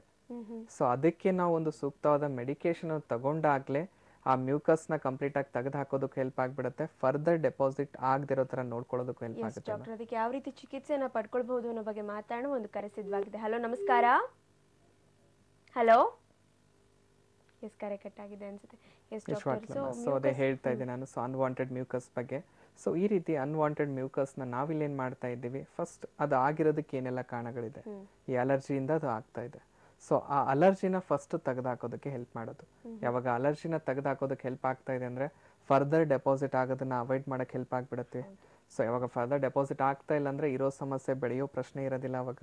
ಯಾವಾಗ ಸಮಸ್ಯೆ ಬೆಳೀತಾ ಇಲ್ಲ ನಮ್ಮ ಕಂಟ್ರೋಲ್ ಇದೆ ಅಂದಾಗ ಆಲ್ರೆಡಿ ಏನು ಡೆಪಾಸಿಟ್ ಆಗಿದೆ ಅದನ್ನ ಕರಗಿಸ್ತಾ ಬಂದ್ಬಿಟ್ಟು ಕಂಪ್ಲೀಟ್ ಕ್ಲಿಯರ್ ಆಗೋದಕ್ಕೂ ಹೆಲ್ಪ್ ಮಾಡಿಸ್ತಾ ಇದ್ದೀವಿ. ಅದು ಯಾವುದೇ ರೀತಿ ಸರ್ಜರಿ ಇಲ್ಲದೇನೆ ಅದನ್ನ ಹೊರಗೆ ಬರೋದಕ್ಕೆ ಹೆಲ್ಪ್ ಮಾಡ್ತಾ ಇದೀವಿ ಅನ್ನೋದು ಹೇಳ್ತಾ ಸರ್ಜರಿಯನ್ನ ಮಾಡಿಸಿ ಇನ್ನಷ್ಟು ಅಡ್ಡ ಪರಿಣಾಮಗಳನ್ನ ಉಂಟು ಮಾಡ್ಕೊಳ್ಳೋಕ್ಕಿಂತ ಅದೇ ಹಾಗೇನೆ ಚಿಕಿತ್ಸೆ ಮೂಲಕ ತಗೊಳ್ಬೋದು ಒಳ್ಳೇದು ಅಂತ ಎಸ್ ಡಾಕ್ಟರ್ ಒಂದು ಕರೆ ಸಿದ್ಧವಾಗಿದೆ. ಹಲೋ ನಮಸ್ಕಾರ. ಹಲೋ ನಮಸ್ತೆ ನಿಮ್ಮ ಹೆಸರು? ಹಲೋ? ಹಲೋ ನಮಸ್ತೆ. ನಮಸ್ತೆ ನಿಮ್ಮ ಹೆಸರು? ಎಲ್ಲಿಂದ ಕಾಲ್ ಮಾಡ್ತಿರೋದು? ಮೇಡಮ್ ಕೇರ್ ಆರ್ ನಗರದಿಂದ ಮಾತಾಡ್ತಾರೆ ಓಕೆ ಡಾಕ್ಟರ್ ಜೊತೆ ಮಾತಾಡಿಮ್ಮ ಹಲೋ? ಹಲೋ ಸರ್ ನಮಸ್ತೆ. ನಮಸ್ತೆ ಅಮ್ಮ. ಹೇಳಿ ಏನು ಸಮಸ್ಯೆ ಇತ್ತು ಸರ್ ಅಲರ್ಜಿ ಬಂದು ಒಂದು ಟೆನ್ ಇಯರ್ಸ್ ಇಂದನೂ ನನಗಿದೆ ಸರ್. ಓಕೆ. ಹಾಂ ಹಾಂ ಹಾಂ. ಓಕೆ ಅದು ವೀಸಿಂಗ್ ಪ್ರಾಬ್ಲಮ್ ಇದೆ. ಓಕೆ ಅಮ್ಮ. ಈಗ ನನ್ನ ಮಗನಿಗೂ ಕೂಡ ರಿಪೀಟ್ ಆಗ್ತಾ ಇದೆ. ಅಂದ್ರೆ ಅವನಿಗೆ ಈಗ ಹೇಳ್ದಾಗೆ ಕೆಲವೊಂದು ಸಿಂಪ್ಟಮ್ಸ್ ಮಾರ್ನಿಂಗ್ ಟೈಮ್ ಸೀನ್ ಬರೋದು. Okay ma'am. ಕಣ್ಣೆಲ್ಲ ರೆಡ್ ಆಗುತ್ತೆ ಹಾ ಹಾ ಹಾ ಓಕೆ. ಹಸಿ ಶುರು ಆಗುತ್ತೆ ಮೂಗಲ್ಲಿ. ಹಾ ಹಾ ಹಾ ಓಕೆ ಮ್ಯಾಮ್. ಈ ತರ ಸಿಂಪ್ಟಮ್ಸ್ ಇದೆ ಸರ್. ಅದಕ್ಕೆ ಟ್ರೀಟ್ಮೆಂಟ್ಗೆ ನಿಮ್ಮಲ್ಲಿ ಟ್ರೀಟ್ಮೆಂಟ್ ತಗೊಂಡ್ರೆ ಯಾವ ರೀತಿ ಏನಂತ ಕೇಳಿ. ನಿಜವಾಗ್ಲಮ್ಮ ಈಗ ನೀವೇನು ಹೇಳ್ತಾ ಇದ್ರಲ್ಲಮ್ಮ ಫ್ಯಾಮಿಲಿ ಟೆಂಡೆನ್ಸಿ ಮುಖಾಂತರ ಕೂಡ ಈ ಒಂದು ಅಲರ್ಜಿ ಬರೋ ಸಮಸ್ಯೆ ತುಂಬಾ ಜಾಸ್ತಿ ನೋಡ್ತಾ ಇದ್ದೀವಿ ಮಾ ಈಗ ನಿಮ್ಗಿದೆ ಅಂದಾಗ ನಿಮ್ಮ ಮಕ್ಕಳಲ್ಲೂ ಕಾಣಿಸ್ಕೊಳ್ತಾ ಇರೋದು. ಸೊ ಈ ರೀತಿ ಬಂದಿದೆ ಅಂದಾಗಮ್ಮ ಬೇಸಿಕಲಿ ನಾವಿಲ್ಲಿ ಮಾಡಬೇಕಾಗಿರೋದು ನಮ್ಮಲ್ಲಿರೋ ಒಂದು ಮೆಟಾಬಾಲಿಕ್ ಫಂಕ್ಷನ್ನ ಕಂಪ್ಲೀಟ್ ಸರಿಪಡಿಸೋದು ಈಗ ಏನು ಸೆನ್ಸಿಟಿವ್ ಆಗಿ ಸೊ ನಿಮ್ಮ ಮಕ್ಕಳು ಬೆಳೀತಾ ಇದ್ದಾರೆ, ಆ ಒಂದು ಸೆನ್ಸಿಟಿವಿಟಿಯಿಂದ ಫಸ್ಟ್ ಹೊರಗೆ ಬರೋದಕ್ಕೆ ಹೆಲ್ಪ್ ಮಾಡಬೇಕು ಅಮ್ಮ ಆವಾಗಲೇ ಈ ಒಂದು ಅಲರ್ಜಿ ಅನ್ನೋ ಸಮಸ್ಯೆಯಿಂದ ಕಂಪ್ಲೀಟಾಗಿ ಹೊರಗೆ ಬರೋದಕ್ಕೂ ಹೆಲ್ಪ್ ಆಗುತ್ತೆ. ಸೊ ಟ್ರೀಟ್ಮೆಂಟು ಇದೆ ಕಂಪ್ಲೀಟಾಗಿ ವಾಸಿ ಆಗೋದಕ್ಕೂ ಹೆಲ್ಪ್ ಆಗುತ್ತೆ. ಈಗ ಆಲ್ರೆಡಿ ಎಲ್ಲೋ ತೋರಿಸಿದ್ದೀನಿ ಅಂತ ಹೇಳ್ತಾ ಇದ್ದೀರಾ, ಆ ರಿಪೋರ್ಟ್ಸ್ ಏನಿದೆ ಎಲ್ಲನೂ ತೊಗೊಂಡ್ಬಿಟ್ಟು ಒಂದ್ಸಲ ಬಂದು ಭೇಟಿಯಾಗಿ, ಜಯನಗರ ಅಂದರೆ ಅಲ್ಲೇ ಜಯನಗರಲ್ಲೇ ಬ್ರಾಂಚ್ ಇದೆ ಅಮ್ಮ ಸೊ ಭೇಟಿ ಆದರೆ, ಸೊ ಆ ಸಮಸ್ಯೆ ಈಗ ಎಷ್ಟು ಮಟ್ಟಿಗೆ ಬೆಳ್ಕೊಂಡಿದೆ ಅಂತ ತಿಳ್ಕೊಂಬಿಟ್ಟು ಸೂಕ್ತವಾದ ಒಂದು ಟ್ರೀಟ್ಮೆಂಟ್ ಅನ್ನೋದು ಪ್ರೊವೈಡ್ ಮಾಡ್ತಾ ಬಂದಾಗ ಆ ಸಮಸ್ಯೆಯಿಂದ ಸಂಪೂರ್ಣವಾಗಿ ವಾಸಿ ಮಾಡೋದಕ್ಕೆ ಹೆಲ್ಪ್ ಮಾಡ್ಬೋದು ನೋಡಿ. ಯಾಕಂದರೆ ನಿಮ್ಮ ಕೇಸಲ್ಲೇ ಹೇಳ್ತಾ ಇದ್ರೆ ಆಲ್ರೆಡಿ ಟೆನ್ ಇಯರ್ಸಿಂದ ಸಫರ್ ಆಗ್ತಾ ಇದ್ದೀನಿ ಅಂತ. ಸೊ ಟೆನ್ ಇಯರ್ಸ್ ಅನ್ನೋದು ತುಂಬ ಲಾಂಗ್ ಪೀರಿಯಡ್ ಅಮ್ಮ. ಅದರಲ್ಲೂ ಇನಿಷಿಯಲ್ ಸ್ಟೇಜಲ್ಲಿ ನಿಮಗೂ ಕೂಡ ಕೋಲ್ಡ್ ಕಫಿಂದ ಶುರು ಆಗಿರೋದು ಈಗ ಅಸ್ತಮ ಕನ್ವರ್ಟ್ ಆಗಿರೋದು. ಸೊ ಹತ್ತು ವರ್ಷ ಟ್ರೀಟ್ಮೆಂಟ್ ತಗೊಂಡು ಇರೋ ಸಮಸ್ಯೆನ ಇನ್ನೂ ಬೆಳೆಸ್ತಾ ಇದ್ರೆ ಹೊರತಾಗಿ ಹೊರಗೆ ಆಗ್ತಾ ಇಲ್ಲ. ಆದರೆ ಹೋಮಿಯೋಪತಿಯಲ್ಲಿ ಆ ರೀತಿ ಟ್ರೀಟ್ಮೆಂಟ್ ಅಲ್ಲ. ಆ ಸಮಸ್ಯೆಯಿಂದ ಕಂಪ್ಲೀಟಾಗಿ ಹೊರಗೆ ಬರೋದಕ್ಕೆ ಹೆಲ್ಪ್ ಮಾಡ್ತಾ ಇದ್ದೀವಿ. ಸೊ ಟ್ರೀಟ್ಮೆಂಟು ಇದೆ ವಾಸಿ ಕೂಡ ಆಗುತ್ತೆ ಅಂತ ಹೇಳ್ಬೋದು ನೋಡಿ ಕರೆ ಮಾಡಿದಕ್ಕೆ ಧನ್ಯವಾದಗಳು. ಮತ್ತೊಂದು ಕರೆ ಸಿದ್ಧವಾಗಿದೆ. ಹಲೋ ನಮಸ್ಕಾರ. ಹಲೋ ನಮಸ್ತೆ ಮೇಡಮ್ ನಮಸ್ತೆ ನಿಮ್ಮ ಹೆಸರು? ಸರ್ ನಾನು ಮೇಡಮ್ ನಾನು ಜೋಸೆಫ್ ಜೋಸೆಫ್ ಅಂತ ಮಡಿಕೇರಿಯಿಂದ. ಓಕೆ ನಮ್ಮ ಹೋಮಿಯೋಪತಿಯಲ್ಲಿ ನಾವಿವತ್ತು ಅಸ್ತಮಾ ಮತ್ತು ಅಲರ್ಜಿ ಬಗ್ಗೆ ಮಾತಾಡ್ತಿದ್ದೀವಿ. ಡಾಕ್ಟರ್ ಪ್ರಶಾಂತ್ ಅವರಿದ್ದಾರೆ ನಮ್ಮ ಜೊತೆ ಮಾತಾಡಿ. ಹಲೋ ಹಲೋ ಹೇಳಿಪ್ಪ ಏನು ಸಮಸ್ಯೆ ಇತ್ತು? ಹಲೋ ಹಲೋ ಕೇಳಿಸ್ತಾ ಇದೇನಾ? ಹಾ ಕೇಳ್ತಾ ಇದೆ ಸರ್. ಹೇಳಿಪ್ಪ ಏನು ಸಮಸ್ಯೆ ಇತ್ತು? ಸರ್ ನನಗೆ ಸುಮಾರು ಒಂದು ಎಂಟತ್ತು ವರ್ಷದಿಂದ ಓಕೆ ಎಂಟತ್ತು ವರ್ಷಗಳಿಂದ ಪೂರ್ತಿ ಅಸ್ತಮ ಅಲರ್ಜಿ ಸರ್ ಅದು.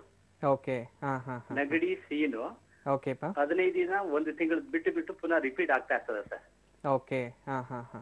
ಅದಕ್ಕೆ ಮತ್ತೆ ಯಾವಾಗ ನೋಡಿದ್ರು ಕಿವಿ ಮತ್ತೆ ಮೂಗೆಲ್ಲ ಇದು ತುರಿಸ್ತಾ ಇರ್ತದೆ ಸರ್. ಓಕೆ. ಹಾಂ ಹಾಂ ಹಾಂ ಮತ್ತೆ ನನಗೆ ಬೈಪಾಸ್ ಸರ್ಜರಿ ಆಗಿದೆ ಸರ್. ಓಹೋ. ಎಷ್ಟು ನಿಮ್ಮ ವಯಸ್ಸು ಈಗ? ಸರ್ ನನಗೆ ಇವಾಗ ಐವತ್ತ ಎರಡು ಸರ್. Okay okay. ಹಾ ಹಾ ಹಾ. ಹೇಳಿಪ್ಪ ಮತ್ತೆ ಬೇರೆ ಏನಾದರೂ ಸಮಸ್ಯೆಗಳು? ನನಗೆ ಸ್ವಲ್ಪ ಉಸಿರಾಡ್ಲಿಕ್ಕೆ ಓಕೆ. ಕಫ ಕಟ್ಟೋದು ಹಾಂ ಹಾಂ. ಗಂಟ್ಲು ಮತ್ತೆ ಕಿವಿ ತೂರ್ಸೋದು. ಓಕೆ. ಇದೆಲ್ಲ ತುಂಬಾ ತೊಂದರೆ ಆಗ್ತಾ ಇದೆ ಸರ್. ಅದಕ್ಕೆ ಒಂದು ಪರಿಹಾರ ಏನಾದ್ರು ಸೂಚಿಸ್ಕೊಡಿ ಸರ್. ನಿಜವಾಗ್ಲಪ್ಪ ಹಂಡ್ರೆಡ್ ಪರ್ಸೆಂಟ್ ಇದಕ್ಕೆ ಟ್ರೀಟ್ಮೆಂಟ್ ಇದೆ. ಅದ್ರ ಬಗ್ಗೆ ಟೆನ್ಷನ್ ತಗೊಳ್ಳೋ ಅಗತ್ಯ ಇಲ್ಲ. ಈಗ ಮಡಿಕೇರಿ ಅಂತ ಇದ್ದೀರಾ? ಯಾವಾಗಲೂ ಸ್ವಲ್ಪ ಕೋಲ್ಡ್ ಸೀಸನ್ನೇ ಜಾಸ್ತಿ ನೋಡ್ತೀವಿ ಅಲ್ಲಿ. ಸೊ ಈ ಒಂದು ಸೀಸನಲ್ಲಿ ಈ ಒಂದು ಸಿಮ್ಟಮ್ಸ್ ಇನ್ನೂ ಎಗ್ರವೇಟ್ ಆಗೋ ಚಾನ್ಸಸ್ ತುಂಬ ಜಾಸ್ತಿ ಇರುತ್ತೆ. ಯಾವಾಗಲೂ ಅದೇ ಒಂದು ವೆದರಲ್ಲಿ ನೀವು ಇದ್ದೀರಾ ಅಂದಾಗ ಇನ್ನೂ ಸಮಸ್ಯೆಗಳು ರಿಪೀಟೆಡ್ ಆಗಿ ನೀವು ನೋಡ್ತಾ ಇರ್ತೀರಾ. ಪ್ರತಿಯೊಂದು ದಿನನೂ ಇದರಿಂದ ಸಫರ್ ಆಗ್ತಾ ಇರ್ತೀರಾ. ಈ ಒಂದು ಕಂಡೀಷನಿಂದ ಹೊರಗೆ ಬರಬೇಕು ಅಂದರೆ ಬೇಸಿಕಲಿ ನಾನು ಸ್ಟಾರ್ಟಿಂಗಲ್ಲಿ ಗೈಡ್ ಮಾಡ್ತಾ ಇದ್ದೆ. ಸೊ ನಮ್ಮಲ್ಲಿರೋ ಒಂದು ಆ್ಯಂಟಿಬಾಡೀಸ್ಗಳ ಫಂಕ್ಷನ್ನ ಸರಿಪಡಿಸ್ಕೊಳ್ಳೋದು. ಅಂದರೆ ರೋಗ ನಿರೋಧಕ ಶಕ್ತಿನ ನೀವು ಯಾವ ರೀತಿ ನಿಮ್ಮಲ್ಲಿ ಇಂಪ್ರೂವ್ ಮಾಡ್ತಾ ಬರ್ತೀರಾ, ಅದು ಆ ಒಂದು ಸಮಸ್ಯೆ ನಿಮ್ಮಲ್ಲಿ ಬೆಳೀತಾ ಇದೆ ಕಂಪ್ಲೀಟಾಗಿ ಹೊರಗೆ ಬರೋದಕ್ಕೆ ಹೆಲ್ಪ್ ಆಗುತ್ತೆ ಬಸ್ ಸೊ ಆ ರೀತಿ ಒಂದು ಟ್ರೀಟ್ಮೆಂಟ್ ನಮ್ಮ ಹೋಮಿಯೋಪತಿಯಲ್ಲಿ ಪ್ರೊವೈಡ್ ಮಾಡ್ತಾ ಇದ್ದೀವಿ. ಸೊ ಆ ಟ್ರೀಟ್ಮೆಂಟ್ನ ಕರೆಕ್ಟಾಗಿ ನೀವು ಫಾಲೋಅಪ್ ಮಾಡಿಕೊಂಡ್ರೆ ಆ ಒಂದು ಕಾಯಿಲೆಯಿಂದ ಸಂಪೂರ್ಣವಾಗಿ ಹೊರಗೆ ಬರೋದಕ್ಕೂ ಹೆಲ್ಪ್ ಆಗುತ್ತೆ. ಪ್ಲಸ್ ಟ್ರೀಟ್ಮೆಂಟ್ ಆದ್ಮೇಲೆ ಅದು ಮತ್ತೆ ರೀಅಪಿಯರ್ ಆಗುತ್ತೆ ಅನ್ನೋ ಟೆನ್ಷನ್ ಇಲ್ಲ ಅನ್ನೋ ಸ್ಥಿತಿ ತಗೊಂಡೋಗೋದಕ್ಕೂ ಹೆಲ್ಪ್ ಆಗುತ್ತೆ ನೋಡಿ. ಕರೆ ಮಾಡಿದ್ದಕ್ಕೆ ಧನ್ಯವಾದಗಳು ಎಸ್ ಡಾಕ್ಟರ್ ಅವ್ರು ಹೇಳ್ತಾ ಇದ್ರು. ಸೊ ಆ ಒಂದು ಜಾಗ ಅಂದ್ರೆ ಸೀಸನ್ ಏನಿರುತ್ತೆ ಆ ಕ್ಲೈಮೇಟ್ ಏನಿರುತ್ತೆ ಥಂಡಿ ಇರುತ್ತೆ. ಸೊ ಆಬ್ವಿಯಸ್ಲಿ ಅಸ್ತಮಾ ಅಲರ್ಜಿ ಅನ್ನೋದು ಹೆಚ್ಚಾಗುವಂತ ಚಾನ್ಸಸ್ ಖಂಡಿತ ಇರುತ್ತೆ ಎಫೆಕ್ಟ್ ಆಗುತ್ತೆ. ಸೊ ಆ ಒಂದು ಸಂದರ್ಭದಲ್ಲಿ ಯಾವ ರೀತಿ ಚಿಕಿತ್ಸೆ ಇರುತ್ತೆ ಯಾವ ರೀತಿ ಅವರು ಪ್ರಿಕಾಷನ್ಸ್ ತಗೊಳ್ಬೋದು ಅನ್ನೋ ಬಗ್ಗೆ ತಿಳ್ಕೊಳ್ಳೋಣ. ಎಸ್ ನೋಡಿದ್ರಲ್ಲ ವೀಕ್ಷಕರ ಇವತ್ತು ನಾವು ಅಸ್ತಮಾ ಮತ್ತು ಅಲರ್ಜಿ ಬಗ್ಗೆ ಮಾತಾಡ್ತಿದೀವಿ ಮತ್ತೊಂದು ಕರೆ ಸಿದ್ಧವಾಗಿದೆ. ಹಲೋ ನಮಸ್ಕಾರ. ಹಲೋ. ನಮಸ್ತೆ ನಿಮ್ ಹೆಸರು? ನಮ್ಮ ಹೆಸರು ಭಾಗ್ಯಲಕ್ಷ್ಮಿ ಅಂತ. ಎಲ್ಲಿಂದ ಕಾಲ್ ಮಾಡ್ತಿರೋದು? ನಾವು ಎಸ್ ಆರ್ ನಗರಿಂದ. ಓಕೆ ಅಸ್ತಮಾ ಮತ್ತು ಅಲರ್ಜಿ ಬಗ್ಗೆ ಮಾತಾಡ್ತಿದೀವಿ. ಡಾಕ್ಟರ್ ಜೊತೆ ಮಾತಾಡಿಮ್ಮ ಹಲೋ. ಹಲೋ ಸರ್ ಇದು ನಮ್ಮ ಮಗನ್ಗೆ. ಓಕೆ ಅಮ್ಮ ಆ, ಚರ್ಮ ಇದು ನವೆ ಬರುತ್ತೆ. ನವೆ. ಬಂದು ರ್ಯಾಶಸ್ ಆಗುತ್ತೆ. ಹಾ ಹಾ ಹಾ. ಸೊ ಎಷ್ಟು ದಿವಸ ಆಯ್ತಮ್ಮ? ಈಗ ಶುರು ಆಗಿಬಿಟ್ಟು? ಸರ್ ಇದು ದೊಡ್ಡವನ್ಗಿತ್ತು ಎರಡು ವರ್ಷದಿಂದ. ಓಕೆ ಮಾ ಅವನ್ಗೆ ಕಡಿಮೆನೆ ಆಗ್- ಆಗಿಲ್ಲ ಈಗ ಚಿಕ್ಕೊಂದು ಸ್ಟಾರ್ಟ್ ಆಗ್ಬಿಟ್ಟಿದೆ. ಓಕೆ ಸರ್ ಇದು ನವೆ ಬರುತ್ತೆ ಚರ್ಮ ಎಲ್ಲ ಇದು ರ್ಯಾಷಸ್ ಬರುತ್ತೆ ಅಂದ್ರೆ. ಕೆಂಪ್ ಕೆಂಪುಗೆ ಗುಳ್ಳೆಗಳು ದಪ್ಪ. ದಪ್ಪ. ಮತ್ತೆ ಚರ್ಮನು ಒಂದೊಂದ್ಸಲ ಊದ್ಕೊಳ್ಳುತ್ತೆ ಇದು ಮುಖದ ಹತ್ರ. ಹೌದು ಇದು ತುಟಿ ನಿಜವಾಗ್ಲೂ ಅದನ್ನ ಬೊಬ್ಬೆ ತರ ಬರುತ್ತೆ ಅಂತ ಹೇಳ್ತೀವಿ ಮಾ. ಈ ಒಂದು ಕಂಡೀಷನ್ ನಾವು ಅಲರ್ಜಿಕ್ ಆರ್ಟಿಕೇರಿಯಲ್ಲಿ ನೋಡ್ತಾ ಬರೋದಮ್ಮ ಸೊ ಟೆನ್ಷನ್ ತಗೊಳ್ಳೋ ಅಗತ್ಯ ಇಲ್ಲ ಸೊ ಅದಕ್ಕೆ ಟ್ರೀಟ್ಮೆಂಟು ಇದೆ. ಸಂಪೂರ್ಣವಾಗಿ ವಾಸಿ ಮಾಡೋದಕ್ಕೂ ಹೆಲ್ಪ್ ಆಗುತ್ತೆ, ಅಮ್ಮ. ಸೊ ಒಂದ್ಸಲ ಬಂದು ಭೇಟಿಯಾಗಿ ಆ ಸಮಸ್ಯೆಗೆ ಎಷ್ಟರ ಮಟ್ಟಿಗೆ ಬೆಳ್ಕೊಂಡಿದೆ ಅನ್ನೋದು ಎಕ್ಸಾಮಿನೇಷನ್ ಮೂಲಕ ತಿಳ್ಕೊಳಕ್ಕೆ ಹೆಲ್ಪ್ ಆಗಿಬಿಡುತ್ತೆ. ಅದೇ ರೀತಿ ಅದನ್ನ ಎಷ್ಟರ ಮಟ್ಟಿಗೆ ಬೆಳ್ಕೊಂಡಿದ್ದು ತಿಳ್ಕೊಂಬಿಟ್ಟು ಒಂದು ಸೂಕ್ತವಾದ ಟ್ರೀಟ್ಮೆಂಟ್ ಪ್ರೊವೈಡ್ ಮಾಡೋದ್ರಲ್ಲೂ ಹೆಲ್ಪ್ ಮಾಡ್ತಾ ಬರ್ಬೋದು ನೋಡಿ ನಮಸ್ಕಾರ. ಕರೆ ಮಾಡಿದ್ದಕ್ಕೆ ಧನ್ಯವಾದಗಳು. ಅಸ್ತಮಾ ಮತ್ತು ಅಲರ್ಜಿ ಸಮಸ್ಯೆ ಇದ್ದವರಲ್ಲಿ ಯಾವ ರೀತಿ ಚಿಕಿತ್ಸೆಯನ್ನ ಪಡ್ಕೊಳ್ಬಹುದು ಹಾಗೆ ಅವ್ರ ಅವರನ್ನ ಯಾವ ರೀತಿ ಕೇರ್ ತಗೊಳ್ಬಹುದು ಇದೆಲ್ಲದರ ಬಗ್ಗೆ ಮತ್ತಷ್ಟು ಮಾಹಿತಿಯನ್ನ ನೀಡ್ತೀವಿ. ಪುಟದೊಂದು ವಿರಾಮದ ನಂತರ.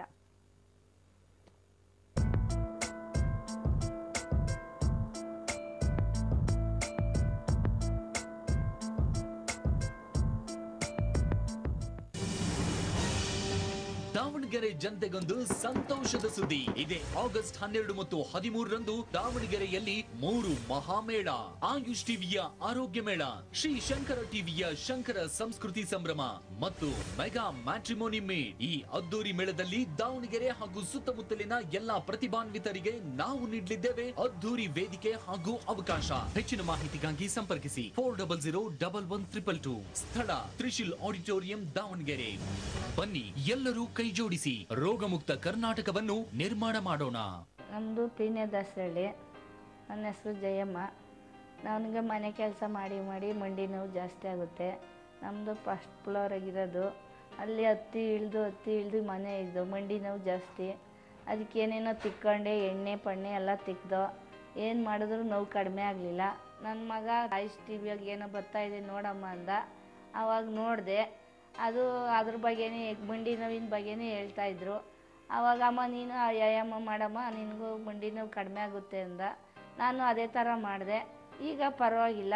ಮಂಡಿ ನೋವು ನನಗೆ ತುಂಬಾ ಕಡಿಮೆ ಆಗಿದೆ. ಕೆಲಸನೂ ತುಂಬ ಮಾಡ್ತಾಯಿದ್ದೀನಿ ಆಯುಷ್ ಟಿ ವಿಗೆ ನನ್ನ ಧನ್ಯವಾದಗಳು. ರೋಗ ಬರದಂತೆ ತಡೆಯೋಣ. ಬಂದಿರೋ ಕಾಯಿಲೆಗಳಿಂದ ಗುಣಮುಖರಾಗೋಣ. ಲಕ್ಷ ಲಕ್ಷ ಖರ್ಚು ವೆಚ್ಚಗಳನ್ನು ಉಳಿತಾಯ ಮಾಡೋಣ. ಆನಂದಮಯ ಜೀವನ. ಆಯುಷ್ ಟಿವಿ.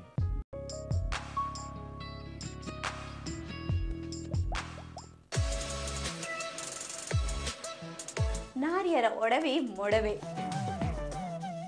ಕೆಲವೇ ಕೆಲವು ದಿನಗಳಲ್ಲಿ ಯಾವ ರೀತಿ ಮಾಯ ಅಂತ ತಿಳಿಸ್ಕೊಡ್ತೀವಿ? ಯಾವುದೇ ಬಣ್ಣ ಬಂದ್ರೂ ಕೊನೆಯದಾಗಿ ನಾವು ಕೇಳೋದೇನು ಅಂತಂದ್ರೆ, ಕಳೆಗುಂದಿದ ಮುಖ ಬೇಡ. ಫಿಶ್ ಪೆಡಿಕ್ಯೂರ್ ಮಾಡುತ್ತಾ?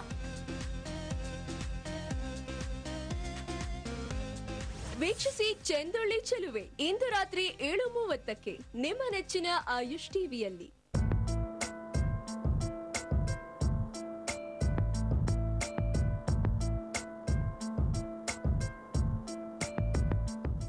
ಹೋಮಿಯೋಪತಿ ಕಾರ್ಯಕ್ರಮಕ್ಕೆ ಮತ್ತೆ ಸ್ವಾಗತ. ಎಸ್ ಡಾಕ್ಟರ್ ನಾನು ಹೇಳ್ತಾ ಇದ್ದೆ. ಒಬ್ರು ಕಾಲರ್ ಕೂಡ ಹೇಳಿದ್ರು. ಸೊ ಎನ್ವಿರಾನ್ಮೆಂಟಲ್ ಚೇಂಜಸ್ ಅಂತ ಬಂದಾಗ ಖಂಡಿತ ಈ ಒಂದು ಅಸ್ತಮಾ ಅಲರ್ಜಿ ಸಮಸ್ಯೆ ಇರೋರಲ್ಲಿ ತುಂಬ ಅಫೆಕ್ಟ್ ಆಗುತ್ತೆ.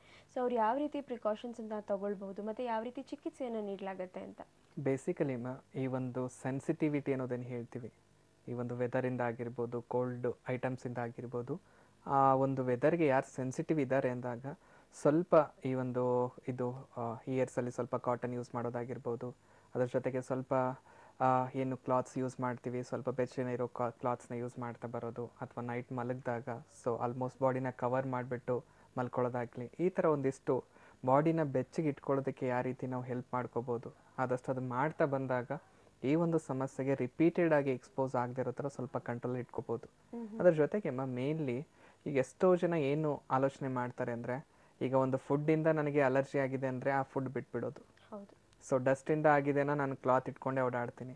ನಮ್ಮನ್ನ ನಾವು ರೆಸ್ಟ್ರಿಕ್ಟ್ ಮಾಡ್ಕೊಳ್ತಾ ಇದ್ದೀವಿ ಹೊರತಾಗಿ. ಅದು ಬಂದಿರೋದಕ್ಕೆ ಏನು ಕಾರಣ ಇದೆ? ಈ ಫುಡ್ ತೊಗೊಂಡ್ರೇ ಯಾಕೆ ಬರ್ತಾ ಇದೆ? ಬೇರೆಯವ್ರಿಗೆ ಯಾಕೆ ಬರ್ತಾ ಇಲ್ಲ? ಸೊ ಆ ರೀತಿ ಯಾರು ಆಲೋಚನೆ ಮಾಡ್ತಾ ಇಲ್ಲ. ಆದರೆ ಹೋಮಿಯೋಪತಿಲಿ ನಾವು ಇಲ್ಲಿ ಯಾರಿಗೇ ಆಗಲಿ ನ ಪ್ರೊವೈಡ್ ಮಾಡ್ತಾ ಇದ್ದೀವಿ ಅಂದರೆ ರಿಸ್ಟ್ರಿಕ್ಷನ್ ಅನ್ನೋದು ಇಡ್ತಾ ಇಲ್ಲ ಮೈಲಿ. ಈಗ ಒಂದು ಫುಡ್ಡಿಂದ ಬರ್ತಾ ಇದೆ. ಫಾರ್ ಎಕ್ಸಾಂಪಲ್ ಈಗ ಮೊನ್ನೆ ಒಬ್ಬರೇ ಒಬ್ಬ ಪೇಷಂಟ್ ಬಂದಿದ್ರು. ಬನಾನ ತಿಂದರೆ ಸಾಕು ಮೈಯೆಲ್ಲ ಅಲರ್ಜಿ ಥರ ರ್ಯಾಷಸ್ ಬರುತ್ತೆ. ಸೊ ಐದು ವರ್ಷದಿಂದ ನಾನು ತಿಂದೇ ಇಲ್ಲ ಸರ್ ಸೊ ಈ ರೀತಿ ಸೊ ಬಾಡಿಗೆ ನಾವು ಏನ್ ನೀಡ್ಸ್ ಇದೆ ಅದು ಕೊಡ್ತಾನೆ ಇಲ್ಲ ಅಂದ್ರೆ ಒಂದು ಒಂದು ಬಿಡ್ತಾ ಹೋದ್ರೆ ನಾಳೆ ಫುಡ್ಡೇ ತಗೋಬಾರ್ದು ಅನ್ನೋ ಸ್ಥಿತಿಗೆ ಹೋಗ್ಬಿಡುತ್ತೆ. ಎಸ್ ಡಾಕ್ಟರ್ ಈ ಅಲರ್ಜಿಗೆ ಯಾವ ರೀತಿ ಚಿಕಿತ್ಸೆ ಪಡ್ಕೊಳ್ಬಹುದು ಯಾವ ರೀತಿ ಅವರು ಅದನ್ನ ಅವಾಯ್ಡ್ ಮಾಡಬಹುದು ಅನ್ನೋ ಬಗ್ಗೆ ಮಾತಾಡೋ ಒಂದು ಕರೆ ಸಿದ್ಧವಾಗಿದೆ. ಹಲೋ ನಮಸ್ಕಾರ. ಹಲೋ ನಮಸ್ತೆ ಮೇಡಮ್ ನಮಸ್ತೆ ನಿಮ್ಮ ಹೆಸರು? ನನ್ನ ಹೆಸರು ಶೋಭಾ ಅಂತ ಕೊಡಗಿನಿಂದ ಮಾತಾಡ್ತಾ ಇದ್ದೀನಿ. ಓಕೆ ನಾವು ಅಸ್ತಮಾ ಮತ್ತು ಅಲರ್ಜಿ ಬಗ್ಗೆ ಮಾತಾಡ್ತಿದೀವಿ ಡಾಕ್ಟರ್ ಜೊತೆ ಮಾತಾಡಿ. ಹಲೋ ಹಲೋ ಸರ್ ನಮಸ್ತೆ. ನಮಸ್ತೆ ಅಮ್ಮ ಹೇಳಿ ಏನ್ ಸಮಸ್ಯೆ ಇತ್ತು? ನನ್ಗೆ ನಾವು ಕೊಡಗಿನಿಂದ ಮಾತಾಡ್ತಾ ಇರೋದು ಸರ್. ಓಕೆ ಮಾ ಇಲ್ಲಿ ಸ್ವಲ್ಪ ಕ್ಲೈಮೇಟ್ ತುಂಬಾ ಕೋಲ್ಡ್ ಬಟ್ ನನ್ಗೆ ತುಂಬಾ ಶೀತ ಆಗೋದು ಸರ್ ಯಾವಾಗ್ಲೂ. ಓಕೆ ಅಮ್ಮ ಅಂದ್ರೆ ನನ್ಗೆ ಈ ಮಳೆ ಇಲ್ಲಿ ಸ್ವಲ್ಪ ಈಗ ಮಳೆ ಸೀಸನ್ ಇದು ಈಗ ನಮ್ಗೆ ಮಳೆಗೆಲ್ಲ ವೀಕ್ಲಿ ಒಂದಿಷ್ಟು ಸ್ನಾನ ಮಾಡ್ಲಿಕ್ಕೆ ಕಷ್ಟ ಆಗ್ತದೆ. ಹೌದು. ಮತ್ತೆ ಸ್ವಲ್ಪ ವೇರಿಕೋಸ್ ನನ್ಗೆ ಓ ಹೋ ಹೋ. ಓಕೆ ಅಂದ್ರೆ ಆಯುರ್ವೇದಕ್ಕಿಂತ ಮಾಡಿ ನೋಡಿದ್ರೆ ಸ್ವಲ್ಪ ಟೈಮ್ ಸರಿ ಹೋಗುತ್ತೆ. ಹಾಂ ಹಾಂ ಹಾಂ.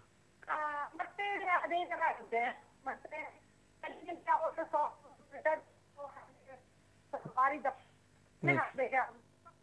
ನಿಜವಾಗ್ಲೂ ಅಮ್ಮ ಈಗ ನಾವು ಯಾವ್ದು ಟ್ರೀಟ್ಮೆಂಟ್ ತಗೋತಾ ಇದ್ದೀವಿ ಆ ಟ್ರೀಟ್ಮೆಂಟ್ ಇಂದ ಯಾವ ರೀತಿ ನಮ್ಮ ಬಾಡಿಗೆ ಹೆಲ್ಪ್ ಆಗ್ತಾ ಇದೆ ತುಂಬಾ ಇಂಪಾರ್ಟೆಂಟ್ ಇದೆ ಅಮ್ಮ. ಈಗ ಶೀತ ಜಾಸ್ತಿ ಆಗ್ತಾ ಇದೆ ಮೂಗಿಂದ ನೀರ್ ಕಡಿತಾ ಇದೆ ಅಥವಾ ಸೀನ್ಗಳು ಬರ್ತಾ ಇದೆ ಅಥವಾ ಗಂಟ್ಲಲ್ಲಿ ಕೆರೆತ ಬರ್ತಾ ಇದೆ, ಈ ಥರ ಒಂದಿಷ್ಟು ಸಿಮ್ಟಮ್ಸ್ಗಳು ಬರ್ತಾ ಇದೆ ಅಂದಾಗ, ಆ ಸಿಮ್ಟಮ್ಸ್ಗಳಿಗೆ ಮಾತ್ರ ನಾವು ಟ್ರೀಟ್ಮೆಂಟ್ ತಗೋತಾ ಹೋಗ್ತೀವಿ. ಅದಕ್ಕೆ ಮಾತ್ರ ನಾವು ಮೆಡಿಸಿನ್ಸ್ ಮಾಡ್ತಾ ಹೋಗ್ತೀವಿ ಅಂದ್ರೆ ಅಮ್ಮ, ಒಂದು ತಾತ್ಕಾಲಿಕವಾಗಿ ರಿಲೀಫ್ ಅನ್ನೋದು ಸಿಗುತ್ತೆ ಹೊರತಾಗಿ ಪರ್ಮನೆಂಟ್ ಆಗಿ ವಾಸಿ ಆಗುತ್ತೆ ಅನ್ನೋ ಥರ ಇರೋದಿಲ್ಲ. ಆದರೆ ಹೋಮಿಯೋಪತಿಯಲ್ಲಿ ನಾವಿಲ್ಲೇನು ಮಾಡ್ತಾ ಇದ್ದೀವಿ, ಯಾರಿಗೇ ಆಗಲಿ, ಈ ಥರ ಒಂದಿಷ್ಟು ಸಿಮ್ಟಮ್ಸ್ಗಳು ಬರ್ತಾ ಇದೆ ಅಂದರೆ ಅದಕ್ಕೆ ಮೂಲ ಕಾರಣಗಳೇನಿದೆ? ಸೊ ಒಳಗಡೆ ನಮ್ಮ ಬಾಡಿಯಲ್ಲಿ ಯಾವ ರೀತಿ ಒಂದು ಮೆಟಬಾಲಿಕ್ ಫಂಕ್ಷನಿಂಗಲ್ಲಿ ವ್ಯತ್ಯಾಸ ಆಗಿದೆ ಅಂತ ತಿಳ್ಕೊಂಬಿಟ್ಟು ಅದನ್ನು ಕಂಪ್ಲೀಟ್ ಸರಿಪಡಿಸೋದಕ್ಕೆ ಹೆಲ್ಪ್ ಮಾಡ್ತಾ ಇದ್ದೀವಿ ಮಾ ಹಾಗಾಗಿ ಒಂದು ಪರ್ಮನೆಂಟಾಗಿ ವಾಸಿ ಮಾಡೋದಕ್ಕೂ ಹೆಲ್ಪ್ ಆಗ್ತಾ ಇದೆ. ಸೊ ಮೆಡಿಕೇಶನ್ ಮುಗಿದಾದ್ಮೇಲೆ ಈ ಒಂದು ಸಮಸ್ಯೆ ಮತ್ತೆ ತಿರುಗಿ ಬರುತ್ತೆ ಅನ್ನೋ ಟೆನ್ಷನ್ ಇಲ್ಲ ಅನ್ನೋ ಸ್ಥಿತಿಗೆ ತಗೊಂಡು ಹೋಗೋದಕ್ಕೂ ಹೆಲ್ಪ್ ಆಗ್ತಾ ಇದೆ ಮಾ ಸೊ ಟ್ರೀಟ್ಮೆಂಟ್ ಇದೆ. ಸೊ ಒಂದ್ಸಲ ಬಂದು ಭೇಟಿಯಾಗಿ ಮಾ ವೆರಿಕೋಸ್ ವೇನ್ಸ್ ಆಗಿರ್ಬೋದು ಪ್ಲಸ್ ಈ ಅಲರ್ಜಿ ಆಗಿರ್ಬೋದು. ಎರಡಕ್ಕೂ ಟ್ರೀಟ್ಮೆಂಟ್ ಇರುತ್ತೆ. ಎರಡನ್ನ ಸಂಪೂರ್ಣವಾಗಿ ವಾಸಿ ಮಾಡೋದಕ್ಕೂ ಹೆಲ್ಪ್ ಮಾಡ್ತಾ ಬರ್ಬೋದು ನೋಡಿ ಮಾ ನಮಸ್ಕಾರ. ಕರೆ ಮಾಡಿದಕ್ಕೆ ಧನ್ಯವಾದಗಳು. ಮತ್ತೊಂದು ಕರೆ ಸಿದ್ಧವಾಗಿದೆ. ಹಲೋ, ನಮಸ್ಕಾರ. ಹಲೋ ನಮಸ್ತೆ ಮೇಡಮ್. ನಮಸ್ತೆ ನಿಮ್ಮ ಹೆಸರು? ಸಾರ್ ಸಾರಥ ಮಾತಾಡ್ಬೇಕಾಗಿತ್ತು ಓಕೆ ಮಾತಾಡಿಮ್ಮ ಹಲೋ? ಹಲೋ ನಮಸ್ತೆ ಸರ್. ನಮಸ್ತೆ ಅಮ್ಮ ಹೇಳಿ ಏನು ಸಮಸ್ಯೆ ಇತ್ತು? ಸರ್ ನನಗೆ ಒಂದು ವರ್ಷದಿಂದ ಮೂಗಲ್ಲಿ ಕಂಟಿನ್ಯೂ ಸೀನ್ ಸೀನ್ ಬರುತ್ತೆ ಸರ್. ಓಕೆ ಅಮ್ಮ ಹದಿನೈದು ದಿನಕ್ಕೆ ವಾರಕ್ಕೊಂದ್ಸತಿ ಸೀನ್ ಸರ್ ಮೂಗಿನಲ್ಲಿ ಈ ಸೋರ್ಸ್ ಸರ್. ಓಕೆ. ಕಣ್ಣೆಲ್ಲ ರೆಡ್ ಮತ್ತೆ ತಲೆನೋವು ಬರುತ್ತೆ ಸರ್. ಓಕೆ ಅಮ್ಮ ಸೊ ಎಷ್ಟು ದಿವಸ ಆಯ್ತಮ್ಮ ಈಗ? ಒಂದು ವರ್ಷ ಆಯ್ತಾ? ಹಲೋ? ಹಾಂ ಹೇಳ್ರಿ ಸರ್. ಹಾಂ ಒಂದು ವರ್ಷದಿಂದ ಇದೆಯಮ್ಮ ಈಗ ಈ ಸಮಸ್ಯೆ? ಹಾಂ ಸರ್ ಒಂದು ವರ್ಷದಿಂದ ಇದೆ ಸರ್. ಓಕೆ ಸೊ ಎಲ್ಲಾದ್ರೂ ತೋರಿಸಿದ್ದೀರಮ್ಮ ಇಷ್ಟಕ್ಕೆ ಮುಂಚೆ ಈಗ? ಹಾಂ ಡಾಕ್ಟರ್ ಹತ್ರ ತೋರಿಸಿದ್ವಿ ಆಯುರ್ವೇದಿಕ್ ತಗೊಂಡಿದ್ವಿ ಸರ್ ಅವಾಗ ಸ್ವಲ್ಪ ಕಡಿಮೆ ಆಗಿತ್ತು ಸರ್ ಈಗ ಇನ್ನೂ ಕಡಿಮೆ ಆಗಿಲ್ಲ ಸರ್. ಓಕೆ ಅಮ್ಮ ಟೆನ್ಷನ್ ತಗೊಳ್ಳೋ ಅಗತ್ಯ ಇಲ್ಲಮ್ಮ. ಇದನ್ನ ನಾವು ಅಲರ್ಜಿಕ್ ರೈನೈಟಿಸ್ ಅಂತ ಹೇಳ್ತೀವಿ ಅಮ್ಮ. ಈ ಒಂದು ಸಮಸ್ಯೆಗೆ ಏನು ಲಕ್ಷಣಗಳು ಬರ್ತಾ ಇದೆ ಅದಕ್ಕೆ ಮಾತ್ರ ಟ್ರೀಟ್ಮೆಂಟ್ ತಗೋತಾ ಹೋಗ್ತಾ ಇದ್ದೀರಾ? ಸೊ ಆ ರೀತಿ ತಗೊಳ್ಳೋದ್ರಿಂದ ಒಂದು ಟೆಂಪ್ರರಿ ರಿಲೀಫ್ ಮಾತ್ರ ಸಿಗೋದಕ್ಕೆ ಹೆಲ್ಪ್ ಆಗುತ್ತೆ ಅಮ್ಮ ಸೊ ಹೋಮಿಯೋಪತಿಗೆ ಒಂದ್ಸಲ ಬಂದು ಭೇಟಿಯಾಗಿ ಅಮ್ಮ ಈ ಒಂದು ಸಮಸ್ಯೆನ ಬುಡ ಸಮೇತ ತೆಗೆದು ಹಾಕೋದ್ರಲ್ಲಿ ಹೆಲ್ಪ್ ಮಾಡ್ತಾ ಇದ್ದೀವಿ. ಪ್ಲಸ್ ಅದು ಮತ್ತೆ ಬರದಿರೋ ಥರ ನೋಡ್ಕೊಳ್ಳೋದಕ್ಕೂ ಹೆಲ್ಪ್ ಮಾಡ್ತಾ ಇದ್ದೀವಿ. ಸೊ ಟ್ರೀಟ್ಮೆಂಟ್ ಇದೆ. ಬಂದು ಭೇಟಿ ಆದರೆ ಅದನ್ನು ಸಂಪೂರ್ಣವಾಗಿ ವಾಸಿ ಮಾಡ್ಬೋದು ನೋಡಿ ಅಮ್ಮ ನಮಸ್ಕಾರ. ಕರೆ ಮಾಡಿದ್ದಕ್ಕೆ ಧನ್ಯವಾದಗಳು. ಮತ್ತೊಬ್ರು ಕಾಲರ್ ರೆಡಿ ಇದ್ದಾರೆ. ಹಲೋ ನಮಸ್ಕಾರ. ಹಲೋ ನಮಸ್ತೆ. ನಮಸ್ತೆ ಮೇಡಮ್. ನಮಸ್ತೆ ನಿಮ್ಮ ಹೆಸರು? ಷಣ್ಮುಖ ಸ್ವಾಮಿ ಮೇಡಮ್. ಓಕೆ ಎಲ್ಲಿಂದ ಕಾಲ್ ಮಾಡ್ತಿರೋದು? ಸಂಡೂರಿಂದ ಮೇಡಮ್. ಓಕೆ ಅಸ್ತಮಾ ಮತ್ತು ಅಲರ್ಜಿ ಬಗ್ಗೆ ಮಾತಾಡ್ತಿದೀವಿ ಡಾಕ್ಟರ್ ಜೊತೆ ಮಾತಾಡಿ. ಹಲೋ ಹಲೋ ಹಾ ಸರ್ ನಮಸ್ಕಾರ. ನಮಸ್ತೆ ಹೇಳಿಪ್ಪ ಏನ್ ಸಮಸ್ಯೆ ಇತ್ತು? ಏನಿಲ್ಲ ಸರ್ ಇಲ್ಲಿ ನಮ್ಮ ನೀರ್ ಜಿಂದಲ್ ಫ್ಯಾಕ್ಟ್ರಿ ಇದೆ.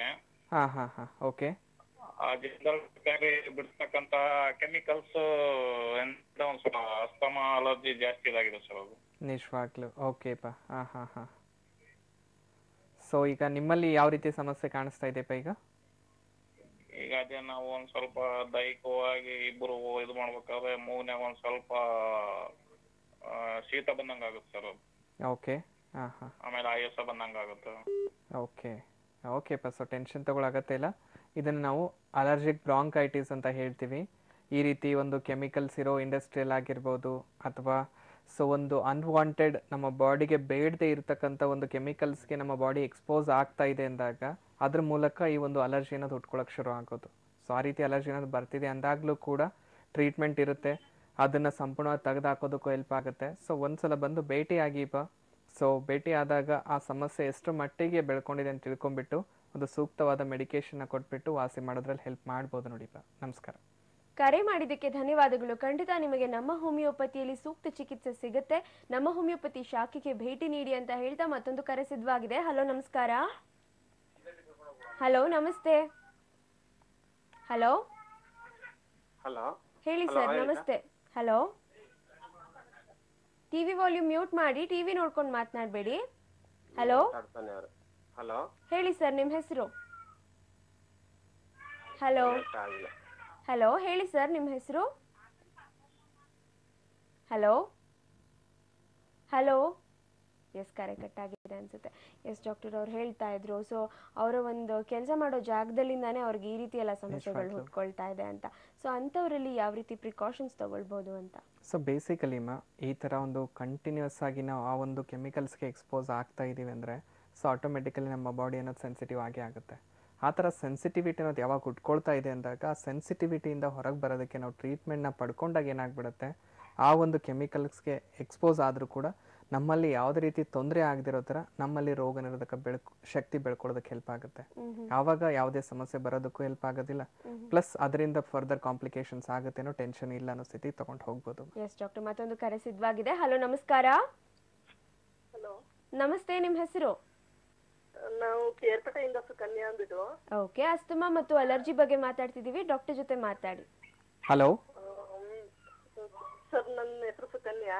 ಓಕೆ ಮಾ ನನ್ ಬಂದ್ಬಿಟ್ಟು ನೆಗಡಿ ಸೀನು ಒಂದು ಮೂರ್ ತಿಂಗಳು ಕಂಪ್ಲೀಟ್ ಇತ್ತು ಈಗ ಒಂದು ಓಕೆ ಮಾ ಓಕೆ ಹಾಂ ಹಾಂ ಆ, ಇವಾಗ ಅಂದ್ರೆ ಗೊರಕೆ ನಿದ್ದೆ ಮಾಡ್ಬೇಕಾದ್ರೆ ಗೊರಕೆ ಹೊಡಿತಾರೆ ಅಂತ ತುಂಬಾ ಜಗಳ ಮನೇಲಿ. ಓಕೆ ಅದು ಸಮಸ್ಯೆ ಜಾಸ್ತಿ ಆಗ್ಬಿಟ್ಟೈತೆ ನನ್ಗೆ ಉಸಿರಾಟ ತೊಂದ್ರೆ ಅನ್ನೋದು ಗೊತ್ತಿಲ್ಲ ಇಲ್ಲ ಗೋರ್ಕೆ ಸೌಂಡ್ ಅದ್ರದ್ದು ಅಂತಾನು ಗೊತ್ತಿಲ್ಲ. ನನ್ಗೆ ಯಾವ ಇರ್ಬೇಕು ಅಂತ ನನಗೆ ಗೊತ್ತಾಗ್ತಾ ಇಲ್ಲ ಒಟ್ಟಿನಲ್ಲಿ ಮತ್ತೆ. ಕಣ್ಣುಗಳ ಕೆಳಗಡೆ ಊತ ಜಾಸ್ತಿ ಬರುತ್ತೆ. ಓಕೆ ಮಾ ಓಕೆ ಹಂಗಾಗಿ ಏನ್ ಮಾಡ್ಬೇಕು ಅಂತ ಗೊತ್ತಾಯ್ತಾ ಇಲ್ಲ. ಅದ್ರ ಬಗ್ಗೆ ಏನಾದ್ರೂ ಮೆಡಿಸಿನ್ಸ್ ಇದೆಯಾ? ಟ್ರೀಟ್ಮೆಂಟ್ ಇರುತ್ತೆ ಅಮ್ಮ. ಈಗ ನಿಮ್ಮ ವಯಸ್ಸು ಎಷ್ಟು ನಿಮ್ಮ ವಯಸ್ಸು ಎಷ್ಟಮ್ಮ ಈಗ? ನಮಗೆ ತರ್ಟಿ ನೈನ್ ಓಕೆ ಅಮ್ಮ ಸೊ ಟೆನ್ಷನ್ ತಗೊಳ್ಳೋ ಅಗತ್ಯ ಇಲ್ಲಮ್ಮ. ಈ ರೀತಿ ನಮ್ಮ ಒಂದು ಉಸಿರಾಟದ ಟ್ಯೂಬ್ಗಳಲ್ಲಿ ಯಾವಾಗ ಒಂದು ಇನ್ಫ್ಲಮೇಷನ್ ಅಥವಾ ಊತ ಅನ್ನೋದು ಉಟ್ಕೊಳಕ್ಕೆ ಶುರು ಆಗ್ಬಿಡುತ್ತೆ ಅದ್ರ ಮೂಲಕ ಉಸಿರಾಟ ಉಸಿರಾಟದಲ್ಲಿ ಸಮಸ್ಯೆ ಅನ್ನೋದು ಕಾಣಿಸಕ್ ಶುರು ಆಗೋದು ಅಮ್ಮ ಅದರಿಂದ ಈ ತರ ಶಬ್ದ ಬರಕ್ ಶುರು ಆಗೋದು ಆರ್ಟಿಫಿಷಿಯಲ್ ಬ್ರೀದಿಂಗನ್ನು ನೋಡೋಕೆ ಶುರು ಮಾಡ್ತೀವಿ ಬಾಯಿಂದ ಉಸಿರಾಟ ಮಾಡ್ತಿರ್ತಾರೆ ಕೆಲವರು. ಇದರಿಂದ ಈ ಒಂದು ಸಮಸ್ಯೆಗಳು ಕಾಣಿಸ್ಕೊಳ್ತಾ ಇದೆಮ್ಮ ಸೊ ಆ ಒಂದು ಆರ್ಟಿಫಿಷಿಯಲ್ ಬ್ರೀದಿಂಗ್ ಆಗೋದಕ್ಕೆ ಏನೆಲ್ಲ ಕಾರಣಗಳಿದೆಯಲ್ಲಮ್ಮ? ಅದನ್ನು ಸರಿಪಡಿಸೋದಕ್ಕೆ ಹೋಮಿಯೋಪತಿಯಲ್ಲಿ ಮೆಡಿಕೇಷನಿಂದ ಹೆಲ್ಪ್ ಮಾಡ್ತಾ ಇದ್ದೀವಿ. ಸೊ ಒಂದ್ಸಲ ಬಂದು ಭೇಟಿಯಾಗಿ ಅಮ್ಮ ಎಕ್ಸಾಮಿನೇಷನ್ ಮಾಡಿ ನೋಡಿದಾಗ ಎಷ್ಟು ಮಟ್ಟಿಗೆ ಆ ಕಾಯಿಲೆ ಅನ್ನೋದು ಬೆಳ್ಕೊಂಡಿದೆ ಅಂತ ತಿಳ್ಕೊಂಡ್ಬಿಟ್ಟು ಒಂದು ಸೂಕ್ತವಾದ ಮೆಡಿಸಿನ್ಸ್ನ ಕೊಟ್ಬಿಟ್ಟು ವಾಸಿ ಮಾಡೋದ್ರಲ್ಲಿ ಹೆಲ್ಪ್ ಮಾಡ್ಬೋದು ನೋಡಿ. ನಮಸ್ಕಾರ. ಧನ್ಯವಾದಗಳು. ಕರೆ ಮಾಡಿದ್ದಕ್ಕೆ ಮತ್ತೊಂದು ಕರೆ ಸಿದ್ಧವಾಗಿದೆ. ಹಲೋ ನಮಸ್ಕಾರ. ಹಲೋ. ಹಲೋ ನಮಸ್ತೆ. ಹಲೋ. ಹಲೋ. ನಮಸ್ತೆ ಸರ್ ನಿಮ್ಮ ಹೆಸರು? ಹಲೋ? ಹೇಳಿ ಸರ್ ನಿಮ್ಮ ಹೆಸರು? ಹಲೋ? ಹಲೋ? ಸರ್ ಕೇಳಿಸ್ತಾ ಇದ್ಯಾ? ಟಿವಿ ವಾಲ್ಯೂಮ್ ಮ್ಯೂಟ್ ಮಾಡಿ ಮಾತನಾಡಿ. ಹಲೋ? ಎಸ್ ಕರೆ ಕಟ್ ಆಗಿದೆ ಅನ್ಸುತ್ತೆ.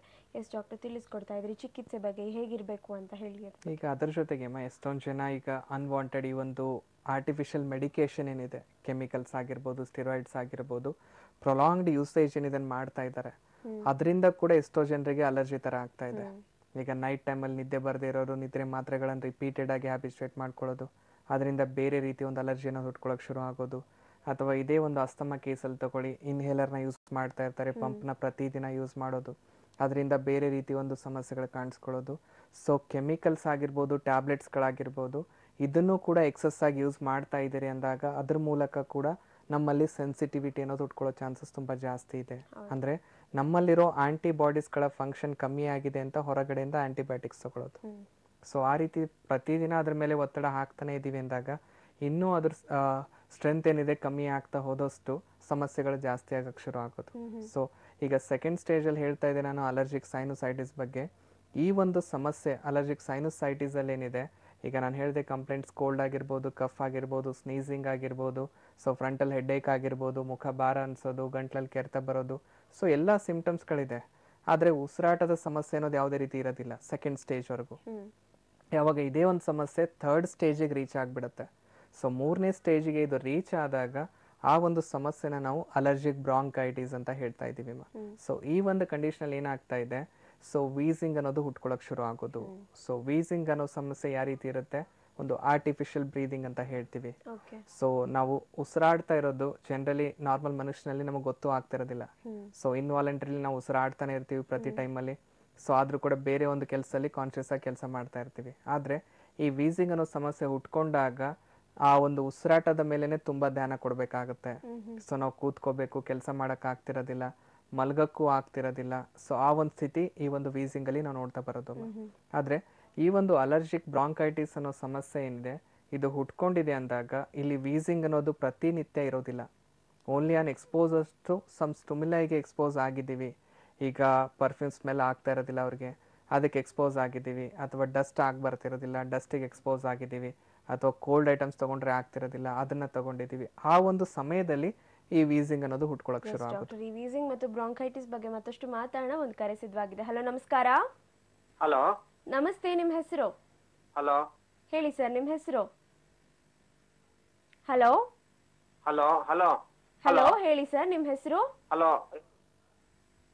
ಹಲೋ? ಹೇಳಿ ಸರ್. ಹಲೋ? ಕೇಳಿಸ್ತಾ ಇದೆಯಾ ಮಾತಾಡ್ತಿರೋದು? ಹೇಳಿ ಸರ್ ನಿಮ್ಮ ಹೆಸರು?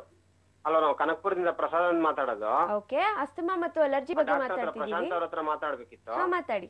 ಹಲೋ? ಹಲೋ ಹಾ ಸರ್ ನಮಸ್ತೆ. ನಾವು ಕನಕಪುರದಿಂದ. ನಮಸ್ಕಾರ. ಹೇಳಿಪ್ಪ ಏನ್ ಸಮಸ್ಯೆ? ತ್ರೀ ಇಯರ್ಸ್ ಇಂದ ನಾನು ಮೆಡಿಸಿನ್ ತಗೋತಾ ಇದ್ದೀನಿ. ಓಕೆ. ಹಲೋ ಹಲೋ ಎಸ್ ಕರೆ ಕಟ್ಟಾಗಿದೆ ಅನ್ಸುತ್ತೆ. ಎಸ್ ಡಾಕ್ಟರ್ ನೀವು ಹೇಳ್ತಾ ಇದ್ರಿ. ಸೊ ಈ ಬ್ರಾಂಕೈಟಿಸ್ ಇದ್ದು ಆಲ್ರೆಡಿ ಮತ್ತೆ ವೀಸಿಂಗು ಕೂಡ ಹುಟ್ಕೊಳ್ತಾ ಇದೆ ಅಂತ ಅಂದ್ರೆ ಅದರಿಂದ ಸಾಕಷ್ಟು ನೋವನ್ನು ಅನುಭವಿಸ್ತಾರೆ, ಸಾಕಷ್ಟು ಹಿಂಸೆಯನ್ನು ಅನುಭವಿಸ್ತಾರೆ. ಸೊ ಹಾಗಾಗಿದ್ದಾಗ ಸಿಚುಯೇಷನ್ ಯಾವ ರೀತಿ ಚಿಕಿತ್ಸೆನ ಪಡ್ಕೊಳ್ಬೋದು? ಯಾಕಂದ್ರೆ ಈಗ ಅಲರ್ಜಿಯಿಂದ ಅಸ್ತಮಾ ಹುಟ್ಕೊಂಡಿದೆ ಅಂದಾಗ ಅಸ್ತಮಾ ಅನ್ನೋ ತಕ್ಷಣ ಎಲ್ಲರ ಮನಸ್ಸಲ್ಲಿ ಬರ್ತದೆ ದೀರ್ಘಕಾಲದ ಸಮಸ್ಯೆ, ಅದಕ್ಕೆ ಚಿಕಿತ್ಸೆ ಕಷ್ಟವಾಗುತ್ತೆ. ಆ ಮೆಡಿಸಿನ್ಸ್ ತಗೊಳ್ಳೋದು ತುಂಬಾ ದಿವಸ ಲಾಂಗ್ ಟರ್ಮ್ ಬಗ್ಗೆ ತಗೊಳ್ತಾ ಇರಬೇಕಾಗುತ್ತೆ ಅಂತ. ಸೊ ಯಾವ ರೀತಿ ಚಿಕಿತ್ಸೆನ ಪಡ್ಕೊಳ್ಬಹುದು ಅಂತ? ಬೇಸಿಕಲಿ ಈ ಒಂದು ಅಲರ್ಜಿಕ್ ಬ್ರಾಂಕೈಟಿಸ್ ಅಲ್ಲಿ ನಾನು ಹೇಳ್ತಾ ಇದ್ದೆ. Only on some exposure to ಸ್ಟುಮಿಲೈಗೆ expose ಆಗಿದ್ದೀವಿ. ಆ ಒಂದು ಸಮಯದಲ್ಲಿ ಈ ವೀಸಿಂಗ್ ಬರ್ತಾ ಇದೆ ಅಂದಾಗ ಈ ಒಂದು ಕಂಡೀಷನ್ ಇನ್ನೂ ಅಸ್ತಮಕ್ಕೆ ಕನ್ವರ್ಟ್ ಆಗಿರೋದಿಲ್ಲ. ಸೊ ಕನ್ವರ್ಟ್ ಆಗಿಲ್ಲ. ಇನ್ನು ಥರ್ಡ್ ಸ್ಟೇಜಲ್ಲೇ ಇದೇ ಸಮಸ್ಯೆ ಎಂದಾಗ ಪ್ರೊಡಕ್ಟಿವ್ ಕಫ್ ಆಗಿರ್ಬೋದು. ರಿಪೀಟೆಡ್ ಆಗಿ ಸ್ವಲ್ಪ ಕಫ್ ಬರೋ ಜೊತೆಗೆ ಸ್ವಲ್ಪ ನಡೆದ್ರೂ ಉಪ್ಸ ಬರ್ತಾ ಇದೆ. ಮೆಟ್ಲ ತಿಳಿಯೋಕ್ಕಾಗ್ತಿಲ್ಲ ನನಗೆ. ಜಾಸ್ತಿ ಹೊತ್ತು ಓಡಾಡೋಕ್ಕಾಗೋದಿಲ್ಲ. ಜಾಸ್ತಿ ವೇಟ್ ಎತ್ತಕ್ಕಾಗೋದಿಲ್ಲ. ಈ ಒಂದು ಫಿಸಿಕಲ್ ಆಕ್ಟಿವಿಟೀಸ್ ಕೂಡ ಕಮ್ಮಿ ಆಗಕ್ಕೆ ಶುರು ಆಗ್ಬಿಡುತ್ತೆ. ಈ ಒಂದು ಸ್ಥಿತಿಯಲ್ಲಿ ಯಾರೇ ಆಗ್ಲಿ ಏನ್ ಮಾಡ್ತೀವಿ ನಾವು ಈಗ ವೀಸಿಂಗ್ ಬಂದಿದೆ ನೈಟ್ ಮಲ್ಕೊಳ್ತಾ ಇದೀವಿ ಉಸಿರಾಟ ಮಾಡೋಕ್ಕಾಗ್ತಿಲ್ಲ ಆಗ್ತಿಲ್ಲ. ಈಗ ನೈಟ್ ಅಲ್ಲಿ ಉಸಿರಾಟ ನಂಗೆ ತಗೊಳಕ್ ಆಗ್ತಿಲ್ಲ ಉಸಿರಿ ಅಂದಾಗ ಏನ್ ಮಾಡ್ತಾರೆ ಮಲ್ಗಿರೋರು ಎದ್ದು ಕೂತ್ಕೊಳಕ್ ಶುರು ಆಗೋದು. ಸ್ವಲ್ಪ ಕೋಲ್ಡ್ ಅಥವಾ ಹೊರಗಡೆ ವೆದರ್ಗೆ ಎಕ್ಸ್ಪೋಸ್ ಆದ್ರೆ ಏನಾದ್ರೂ ಕಮ್ಮಿ ಆಗುತ್ತೆ ಅಂತ ಸೊ ನ್ಯಾಚುರಲ್ ಏರ್ಗೆ ಎಕ್ಸ್ಪೋಸ್ ಆಗಕ್ಕೆ ಶುರು ಆಗ್ತೀವಿ. ಆ ಒಂದು ಕ್ಷಣದಲ್ಲಿ ಯಾವ ರೀತಿ ಇರುತ್ತೆ ತುಂಬಾ ಇರಿಟೇಬಿಲಿಟಿ ನಮ್ಮಲ್ಲಿ ನಮಗೆ. ಸೊ ಯಾವುದೇ ರೀತಿ ಈಗ ಆರ್ಟಿಫಿಷಿಯಲ್ ಬ್ರೀದನ್ನ ತಗೋತಾ ಇರ್ತೀವಿ ಏನ್ ಮಾಡೋದಕ್ಕೂ ಆಗ್ತಿರೋದಿಲ್ಲ. ಏನೇ ಮಾಡಿದ್ರೂ ಉಸಿರಾಟ ಅನ್ನೋದು ಕರೆಕ್ಟಾಗಿ ತೊಗೊಳಕ್ಕೆ ಆಗ್ತಿರೋದಿಲ್ಲ. ಈ ಎಲ್ಲ ಸಿಂಪ್ಟಮ್ಸ್ಗಳು ನಾವು ನೋಡ್ತಾ ಬರ್ತೀವಿ. ಈ ಥರ ಒಂದು ಇನ್ಸೆಕ್ಯೂರಿಟಿ ನಮ್ಮಲ್ಲೇ ಉಟ್ಕೊಳಕ್ಕೆ ಶುರು ಆಗೋದು. ನಮ್ಮ ಬಾಡಿ ಫಂಕ್ಷನಿಂಗಲ್ಲೇ ವ್ಯತ್ಯಾಸ ಅನ್ನೋದು ಉಟ್ಕೊಳಕ್ಕೆ ಯಾಕೆ ಶುರು ಆಗುತ್ತೆ ಅಂದರೆ ಸೊ ಆ ಒಂದು ಉಸಿರಾಟದ ಟ್ಯೂಬ್ ಏನಿದೆ ಮಾ ಅದು ನಾರ್ಮಲಿ ಆ ವ್ಯಾಲ್ವ್ದು ಥಿಕ್ನಿಂಗ್ ಏನಿರಬೇಕು ಪ್ಲಸ್ ಅದು ಏರ್ವೇ ಪಾಸ್ ಆಗೋದಕ್ಕೆ ಏನು ಸ್ಪೇಸ್ ಇರಬೇಕು ಆ ಸ್ಪೇಸ್ ಅನ್ನೋದು ಕಮ್ಮಿ ಆಗಕ್ಕೆ ಶುರು ಆಗಿಬಿಡುತ್ತೆ. ಯಾವಾಗ ಸ್ಪೇಸ್ ಅನ್ನೋದೇ ರೆಡ್ಯೂಸ್ ಆಗಿದೆ ಅದರಲ್ಲಿ ಒಂದು ಇನ್ಫ್ಲಮೇಷನ್ ಅದು ಕಾಣಿಸ್ಕೊಂಡಿದೆ ಅಂದಾಗ ಉಸಿರಾಟ ಮಾಡೋದಕ್ಕೆ ಆ ಏರ್ವೇನೇ ಕಮ್ಮಿ ಆಗ್ತಾ ಹೋದಾಗ ಈ ಒಂದು ಸಮಸ್ಯೆ ಬರ್ತಾ ಇದೆ. ಈ ರೀತಿ ಇದೆ ಅಂದಾಗ ಏನು ಮಾಡಿಬಿಡ್ತಾರೆ? ಸೊ ಇನ್ಹೇಲರ್ನ ಅಥವಾ ಸ್ಟಿರಾಯ್ಡ್ಸ್ನ ಮೊರೆ ಹೋಗ್ತಾರೆ. ಅದು ಮೊರೆ ಹೋದಾಗ ಏನಾಗ್ಬಿಡುತ್ತೆ? ಆ ಒಂದು ಪರ್ಟಿಕ್ಯುಲರ್ ಟೈಮಲ್ಲಿ ಆ ಒಂದು ಇನ್ಫ್ಲಮೇಷನ್ ಏನು ಕಾಣಿಸ್ಕೊಂಡಿದೆ ಆ ಒಂದು ಡೋಸಿಂದ ಇನ್ಫ್ಲಮೇಷನ್ ರೆಡ್ಯೂಸ್ ಆಗಿಬಿಡುತ್ತೆ. ಒಂದು ಟೆಂಪ್ರರಿ ಲೀಫ್ ಥರ ಒಂದು ಟ್ವೆಲ್ ಅವರ್ಸು ಅಥವಾ ಸಿಕ್ಸ್ ಅವರ್ಸು ಟ್ವೆಂಟಿ ಫೋರ್ ಅವರ್ಸ್ವರೆಗೂ ಆರಾಮಾಗಿರ್ತಾರೆ ಯಾವುದೇ ಸಮಸ್ಯೆ ಇರೋದಿಲ್ಲ. ಆಫ್ಟರ್ ಟ್ವೆಂಟಿ ಫೋರ್ ಅವರ್ಸ್ ಏನಾಗ್ಬಿಡುತ್ತೆ? ಮತ್ತೆ ಸ್ವೆಲ್ಲಿಂಗ್ ಆಗಿರುತ್ತೆ ಮತ್ತೆ ತಗೊಳ್ಳೇಬೇಕು. ಅಂದರೆ ಅಲ್ಲಿ ಸ್ವೆಲ್ಲಿಂಗ್ ಅಥವಾ ಇನ್ಫ್ಲಮೇಷನ್ ಕಾಣಿಸ್ಕೊಂಡಿರೋದಕ್ಕೆ ಏನು ಕಾರಣ ಇದೆ? ಆ ಒಂದು ಅಲರ್ಜಿ ಅಥವಾ ಇನ್ಫೆಕ್ಷನಿಂದ ಆಗ್ತಾ ಇದೆ ಅಂದಾಗ ಆ ಅಲರ್ಜಿ ಏನೋ ಸಮಸ್ಯೆಗೆ ನಾವು ಟ್ರೀಟ್ಮೆಂಟ್ ಅನ್ನು ತಗೊಂಡಾಗ ಈ ಒಂದು ಸಮಸ್ಯೆಯಿಂದ ಹೊರಗೆ ಬರಕ್ಕೆ ಸಾಧ್ಯ ಆಗುತ್ತೆ. ಎಸ್ಪೆಷಲಿ ಈಗ ಹೋಮಿಯೋಪತಿಯಲ್ಲಿ ನಾವು ಮೇನ್ಲಿ ಕಾನ್ಸಂಟ್ರೇಟ್ ಮಾಡೋದು. ಈಗ ಹತ್ತು ಜನ ಅಲರ್ಜಿಕ್ ಬ್ರಾಂಕೈಟಿಸಿಂದ ಬಂದಿದ್ದಾರೆ ಅಂದ್ಕೊಳ್ಳಿ ಸೊ ಪ್ರತಿಯೊಬ್ಬರಿಗೂ ನಾವು ಒಂದೇ ಮೆಡಿಸಿನ್ಸ್ ಕೊಡ್ತೀನಿ ಅಂದರೆ ಉಪಯೋಗಕ್ಕೆ ಬರೋದಿಲ್ಲ. ಸೊ ಯಾಕಂದರೆ ಒಬ್ಬರಿಂದಾಗೆ ಇನ್ನೊಬ್ರು ಇರೋಕ್ಕೆ ಸಾಧ್ಯನೇ ಇಲ್ಲ. ಸೊ ಫಸ್ಟ್ ಅವರ ಬಾಡಿಗೆ ಯಾವ ರೀತಿ ಮೆಡಿಸಿನ್ಸ್ ಅನ್ನೋದು ಸೂಟ್ ಆಗುತ್ತೆ. ಪ್ಲಸ್ ಮೆಡಿಸಿನ್ಸ್ ಕೊಟ್ಟಾದ್ಮೇಲೆ ಅವರ ಬಾಡಿಯಲ್ಲಿ ಯಾವ ರೀತಿ ಚೇಂಜಸ್ಗಳು ಆಗ್ತಾ ಇದೆ, ಅದರ ಬೇಸ್ ಮೇಲೆ ಟ್ರೀಟ್ಮೆಂಟ್ ಇರುತ್ತೆ. ಸೊ ಆ ಒಂದು ಇಂಡಿವಿಜುವಲಿಟಿ ಬೇಸ್ ಮೇಲೆ ಒಂದು ಎರಡನೇದು ಸ್ಪೆಸಿಫಿಕ್ ಮೆಡಿಕೇಶನ್ ಇಲ್ಲಿ ಪ್ರೊವೈಡ್ ಮಾಡ್ತಾ ಇಲ್ಲ ನಾವು ಸೊ ಮೇನ್ಲಿ ನಾವಿಲ್ಲಿ ಕಾನ್ಸಂಟ್ರೇಟ್ ಮಾಡ್ತಾ ಇರೋದು ಜೆನೆಟಿಕ್ ಕಾನ್ಸ್ಟಿಟ್ಯೂಷನ್ ಬೇಸ್ಡ್ ಮೆಡಿಸಿನ್ಸ್ ಅಂತ ಹೇಳ್ತೀವಿ. ಸೊ ಆ ಒಂದು ಮೆಡಿಕೇಶನ್ ಇಂದ ಏನ್ ಮಾಡ್ತಾ ಇದೀವಿ? ನಮ್ಮ ಜೀನ್ ಅಥವಾ ನಮ್ಮ ಕಾನ್ಸ್ಟಿಟ್ಯೂಷನ್ ರಿಲೇಟೆಡ್ ಮೆಡಿಸಿನ್ ಕೊಟ್ಟಾಗ ನಮ್ಮ ಒಂದಿರೋ ಮ್ಯಾನ್ ಮೆಟಬಾಲಿಕ್ ಫಂಕ್ಷನಿಂಗಲ್ಲಿ ಏನು ವ್ಯತ್ಯಾಸ ಆಗಿದೆ. ಆ ಒಂದು ಫಂಕ್ಷನ್ನ ಕಂಪ್ಲೀಟ್ ಸರಿಪಡಿಸೋದಕ್ಕೆ ಹೆಲ್ಪ್ ಆಗಿಬಿಡುತ್ತೆ. ಅದ್ರ ಮೂಲಕ ಏನಾಗುತ್ತೆ? ಈ ಒಂದು ಅಲರ್ಜಿ ಅನ್ನೋ ಸಮಸ್ಯೆಯಿಂದ ಕಂಪ್ಲೀಟ್ ಆಗಿ ಹೊರಗೆ ಬರೋದ್ರ ಜೊತೆಗೆ ಅದ್ರ ರಿಲೇಟೆಡ್ ಏನೇನು ಕಾಂಪ್ಲಿಕೇಶನ್ಸ್ ಬರ್ತಾ ಇದೆ ಅದಕ್ಕೆ ಕಂಪ್ಲೀಟ್ ಅವಾಯ್ಡ್ ಮಾಡೋದಕ್ಕೂ ಹೆಲ್ಪ್ ಆಗ್ತಾ ಬರುತ್ತೆ ಅಂತ ಹೇಳ್ಬೋದು ಎಸ್ ಡಾಕ್ಟರ್ ಇನ್ನು ಈ ಅಸ್ತಮಾ ಸಮಸ್ಯೆ ಅಂತ ಬಂದಾಗ ಸಾಕಷ್ಟು ಪ್ರಿಕಾಷನ್ಸ್ನ ತಗೊಳ್ಬೇಕಾಗತ್ತೆ. ಈಗ ಯಾವ ರೀತಿ ಅಲರ್ಜಿ ಅಂತ ಅಂದಾಗ ಎನ್ವಿರಾನ್ಮೆಂಟ್ ಆಗಿರ್ಬೋದು ಅಥವಾ ಫುಡ್ಡಲ್ಲಿ ಆಗಿರ್ಬೋದು ಅಥವಾ ಎಕ್ಸಸೈಸ್ ಮೂಲಕ ಆಗಿರ್ಬೋದು. ಸೊ ಯಾವ ರೀತಿ ಅವ್ರು ಯಾವ ರೀತಿ ಕೇರ್ ತಗೊಳ್ಬಹುದು ಅಂತ? ಒಂದು ಅಮ್ಮ ಈಗ ಫುಡ್ ಹ್ಯಾಬಿಟ್ಸಲ್ಲಿ ನೋಡೋದಾಗಿದ್ರೆ ಅಮ್ಮ ಆದಷ್ಟು ಹೊರಗಡೆ ಫುಡ್ಗಿಂತಲೂ ಮನೆ ಫುಡ್ನ ಪ್ರಿಫರ್ ಮಾಡ್ತಾ ಹೋದಷ್ಟು ಒಳ್ಳೆಯದು ಈಗ ಎಷ್ಟೋ ಜನ ಏನು ಮಾಡ್ತಿದ್ದಾರೆ? ಮನೆ ಫುಡ್ಗಿಂತ ಈ ಒಂದು ಜಂಕ್ ಫುಡ್ಸ್ನೇ ಜಾಸ್ತಿ ಪ್ರಿಫರ್ ಮಾಡ್ತಾ ಇರೋದು. ಅದನ್ನು ಆದಷ್ಟು ಅವಾಯ್ಡ್ ಮಾಡಿ ಅಂತ ಹೇಳ್ಬೋದು. ಅದ್ರ ಜೊತೆಗೆ ಮನೆಯಲ್ಲಿ ಸ್ವಲ್ಪ ಕರೆದಿರೋ ಪದಾರ್ಥಗಳನ್ನು ಕಮ್ಮಿ ಮಾಡ್ತಾ ಹೋಗೋದು.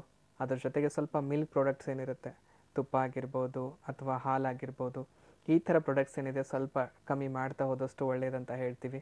ಸೊ ಇದನ್ನು ಕಮ್ಮಿ ಅನ್ನೋದು ಯಾವ ಟೈಮಲ್ಲಿ ಈ ಒಂದು ಸಿಮ್ಟಮ್ಸ್ಗಳು ಜಾಸ್ತಿ ಇದೆ ಅದು ತಡ್ಕೊಳಕ್ಕಾಗ್ತಿಲ್ಲ ಅನ್ನೋದ್ರಲ್ಲಿ ಇದನ್ನ ಆದಷ್ಟು ಅವಾಯ್ಡ್ ಮಾಡ್ತಾ ಹೋದಷ್ಟು ಒಳ್ಳೆಯದು ಸೊ ಇದ್ರ ಜೊತೆಗೆ ಸೊ ಒಂದು ರೆಸ್ಪಿರೇಟರಿ ರಿಲೇಟೆಡ್ ಒಂದಿಷ್ಟು ಎಕ್ಸಸೈಸ್ ಇರುತ್ತೆ ಅದನ್ನು ಹೇಳ್ಕೊಳಕ್ಕೆ ಶುರು ಮಾಡ್ತೀವಿ.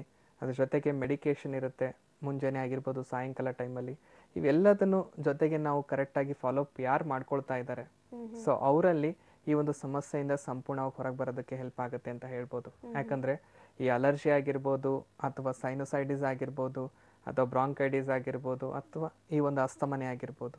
ಸೊ ಎಲ್ಲದರಲ್ಲೂ ಲೈನ್ ಆಫ್ ಟ್ರೀಟ್ಮೆಂಟ್ ಅನ್ನೋದು ಹೋಮಿಯೋಪತಿಯಲ್ಲಿ ಒಂದೇ ಇರುತ್ತೆ. ಅಂದರೆ ಅವರಿಗೆ ಯಾವ ರೀತಿ ಮೆಡಿಸಿನ್ ಅನ್ನು ಸೂಟ್ ಆಗುತ್ತೆ.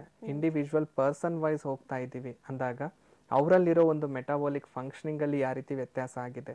ಸೊ ಇದನ್ನೇ ಮೇನ್ಲಿ ನಾವು ಇಲ್ಲಿ ಕಾನ್ಸಂಟ್ರೇಟ್ ಮಾಡ್ತಾ ಇರೋದು ಹೊರತಾಗಿ. ಈಗ ಅಲರ್ಜಿ ಬಂತು ಅದರಿಂದ ಏನು ಸಿಂಪ್ಟಮ್ ಬಂದಿದೆ ಅಂತ ಆ ಸಿಂಪ್ಟಮ್ಸ್ಗಳಿಗೆ ಮೆಡಿಸಿನ್ಸ್ ಕೊಡ್ತಾ ಹೋಗೋದು ಆ ರೀತಿ ಟ್ರೀಟ್ಮೆಂಟ್ ಇಲ್ಲಿ ಯಾರಿಗೂ ಪ್ರೊವೈಡ್ ಮಾಡ್ತಾ ಇಲ್ಲ ಅಂತ ಹೇಳ್ಬೋದು ಎಸ್ ಡಾಕ್ಟರ್ ಕಾರ್ಯಕ್ರಮಕ್ಕೆ ಬಂದು ಅಲರ್ಜಿ ಮತ್ತು ಅಸ್ತಮಾ ಬಗ್ಗೆ ಸಂಪೂರ್ಣ ಮಾಹಿತಿ ತಿಳಿಸ್ಕೊಟ್ರಿ. ಧನ್ಯವಾದಗಳು ತಮಗೆ. ಥ್ಯಾಂಕ್ ಯು ಎಸ್ ನೋಡಿದ್ರಲ್ಲ ವೀಕ್ಷಕರೇ ಅಸ್ತಮಾ ಮತ್ತು ಅಲರ್ಜಿ ಬಗ್ಗೆ ಮಾತಾಡಿದ್ವಿ. ನಿಮ್ಮಲ್ಲೂ ಕೂಡ ಈ ಒಂದು ಸಮಸ್ಯೆ ಇದ್ದಲ್ಲಿ ನಮ್ಮ ಹೋಮಿಯೋಪತಿ ಶಾಖೆಗೆ ನೀವು ಭೇಟಿ ನೀಡಬಹುದು ನಿಮಗೆ ಸುಲಭ ಮತ್ತು ಸೂಕ್ತ ಚಿಕಿತ್ಸೆ ಸಿಗುತ್ತೆ ಅಂತ ಹೇಳ್ತಾ ನಮ್ಮ ಹೋಮಿಯೋಪತಿ ಕಾರ್ಯಕ್ರಮವನ್ನ ಮುಗಿಸ್ತಾ ಇದ್ದೇವೆ. ಆರೋಗ್ಯಕರ ಜೀವನ ಶೈಲಿಗಾಗಿ ನೋಡ್ತಾ ಇರಿ ಆಯುಷ್ ಟಿವಿ. ನಮಸ್ಕಾರ.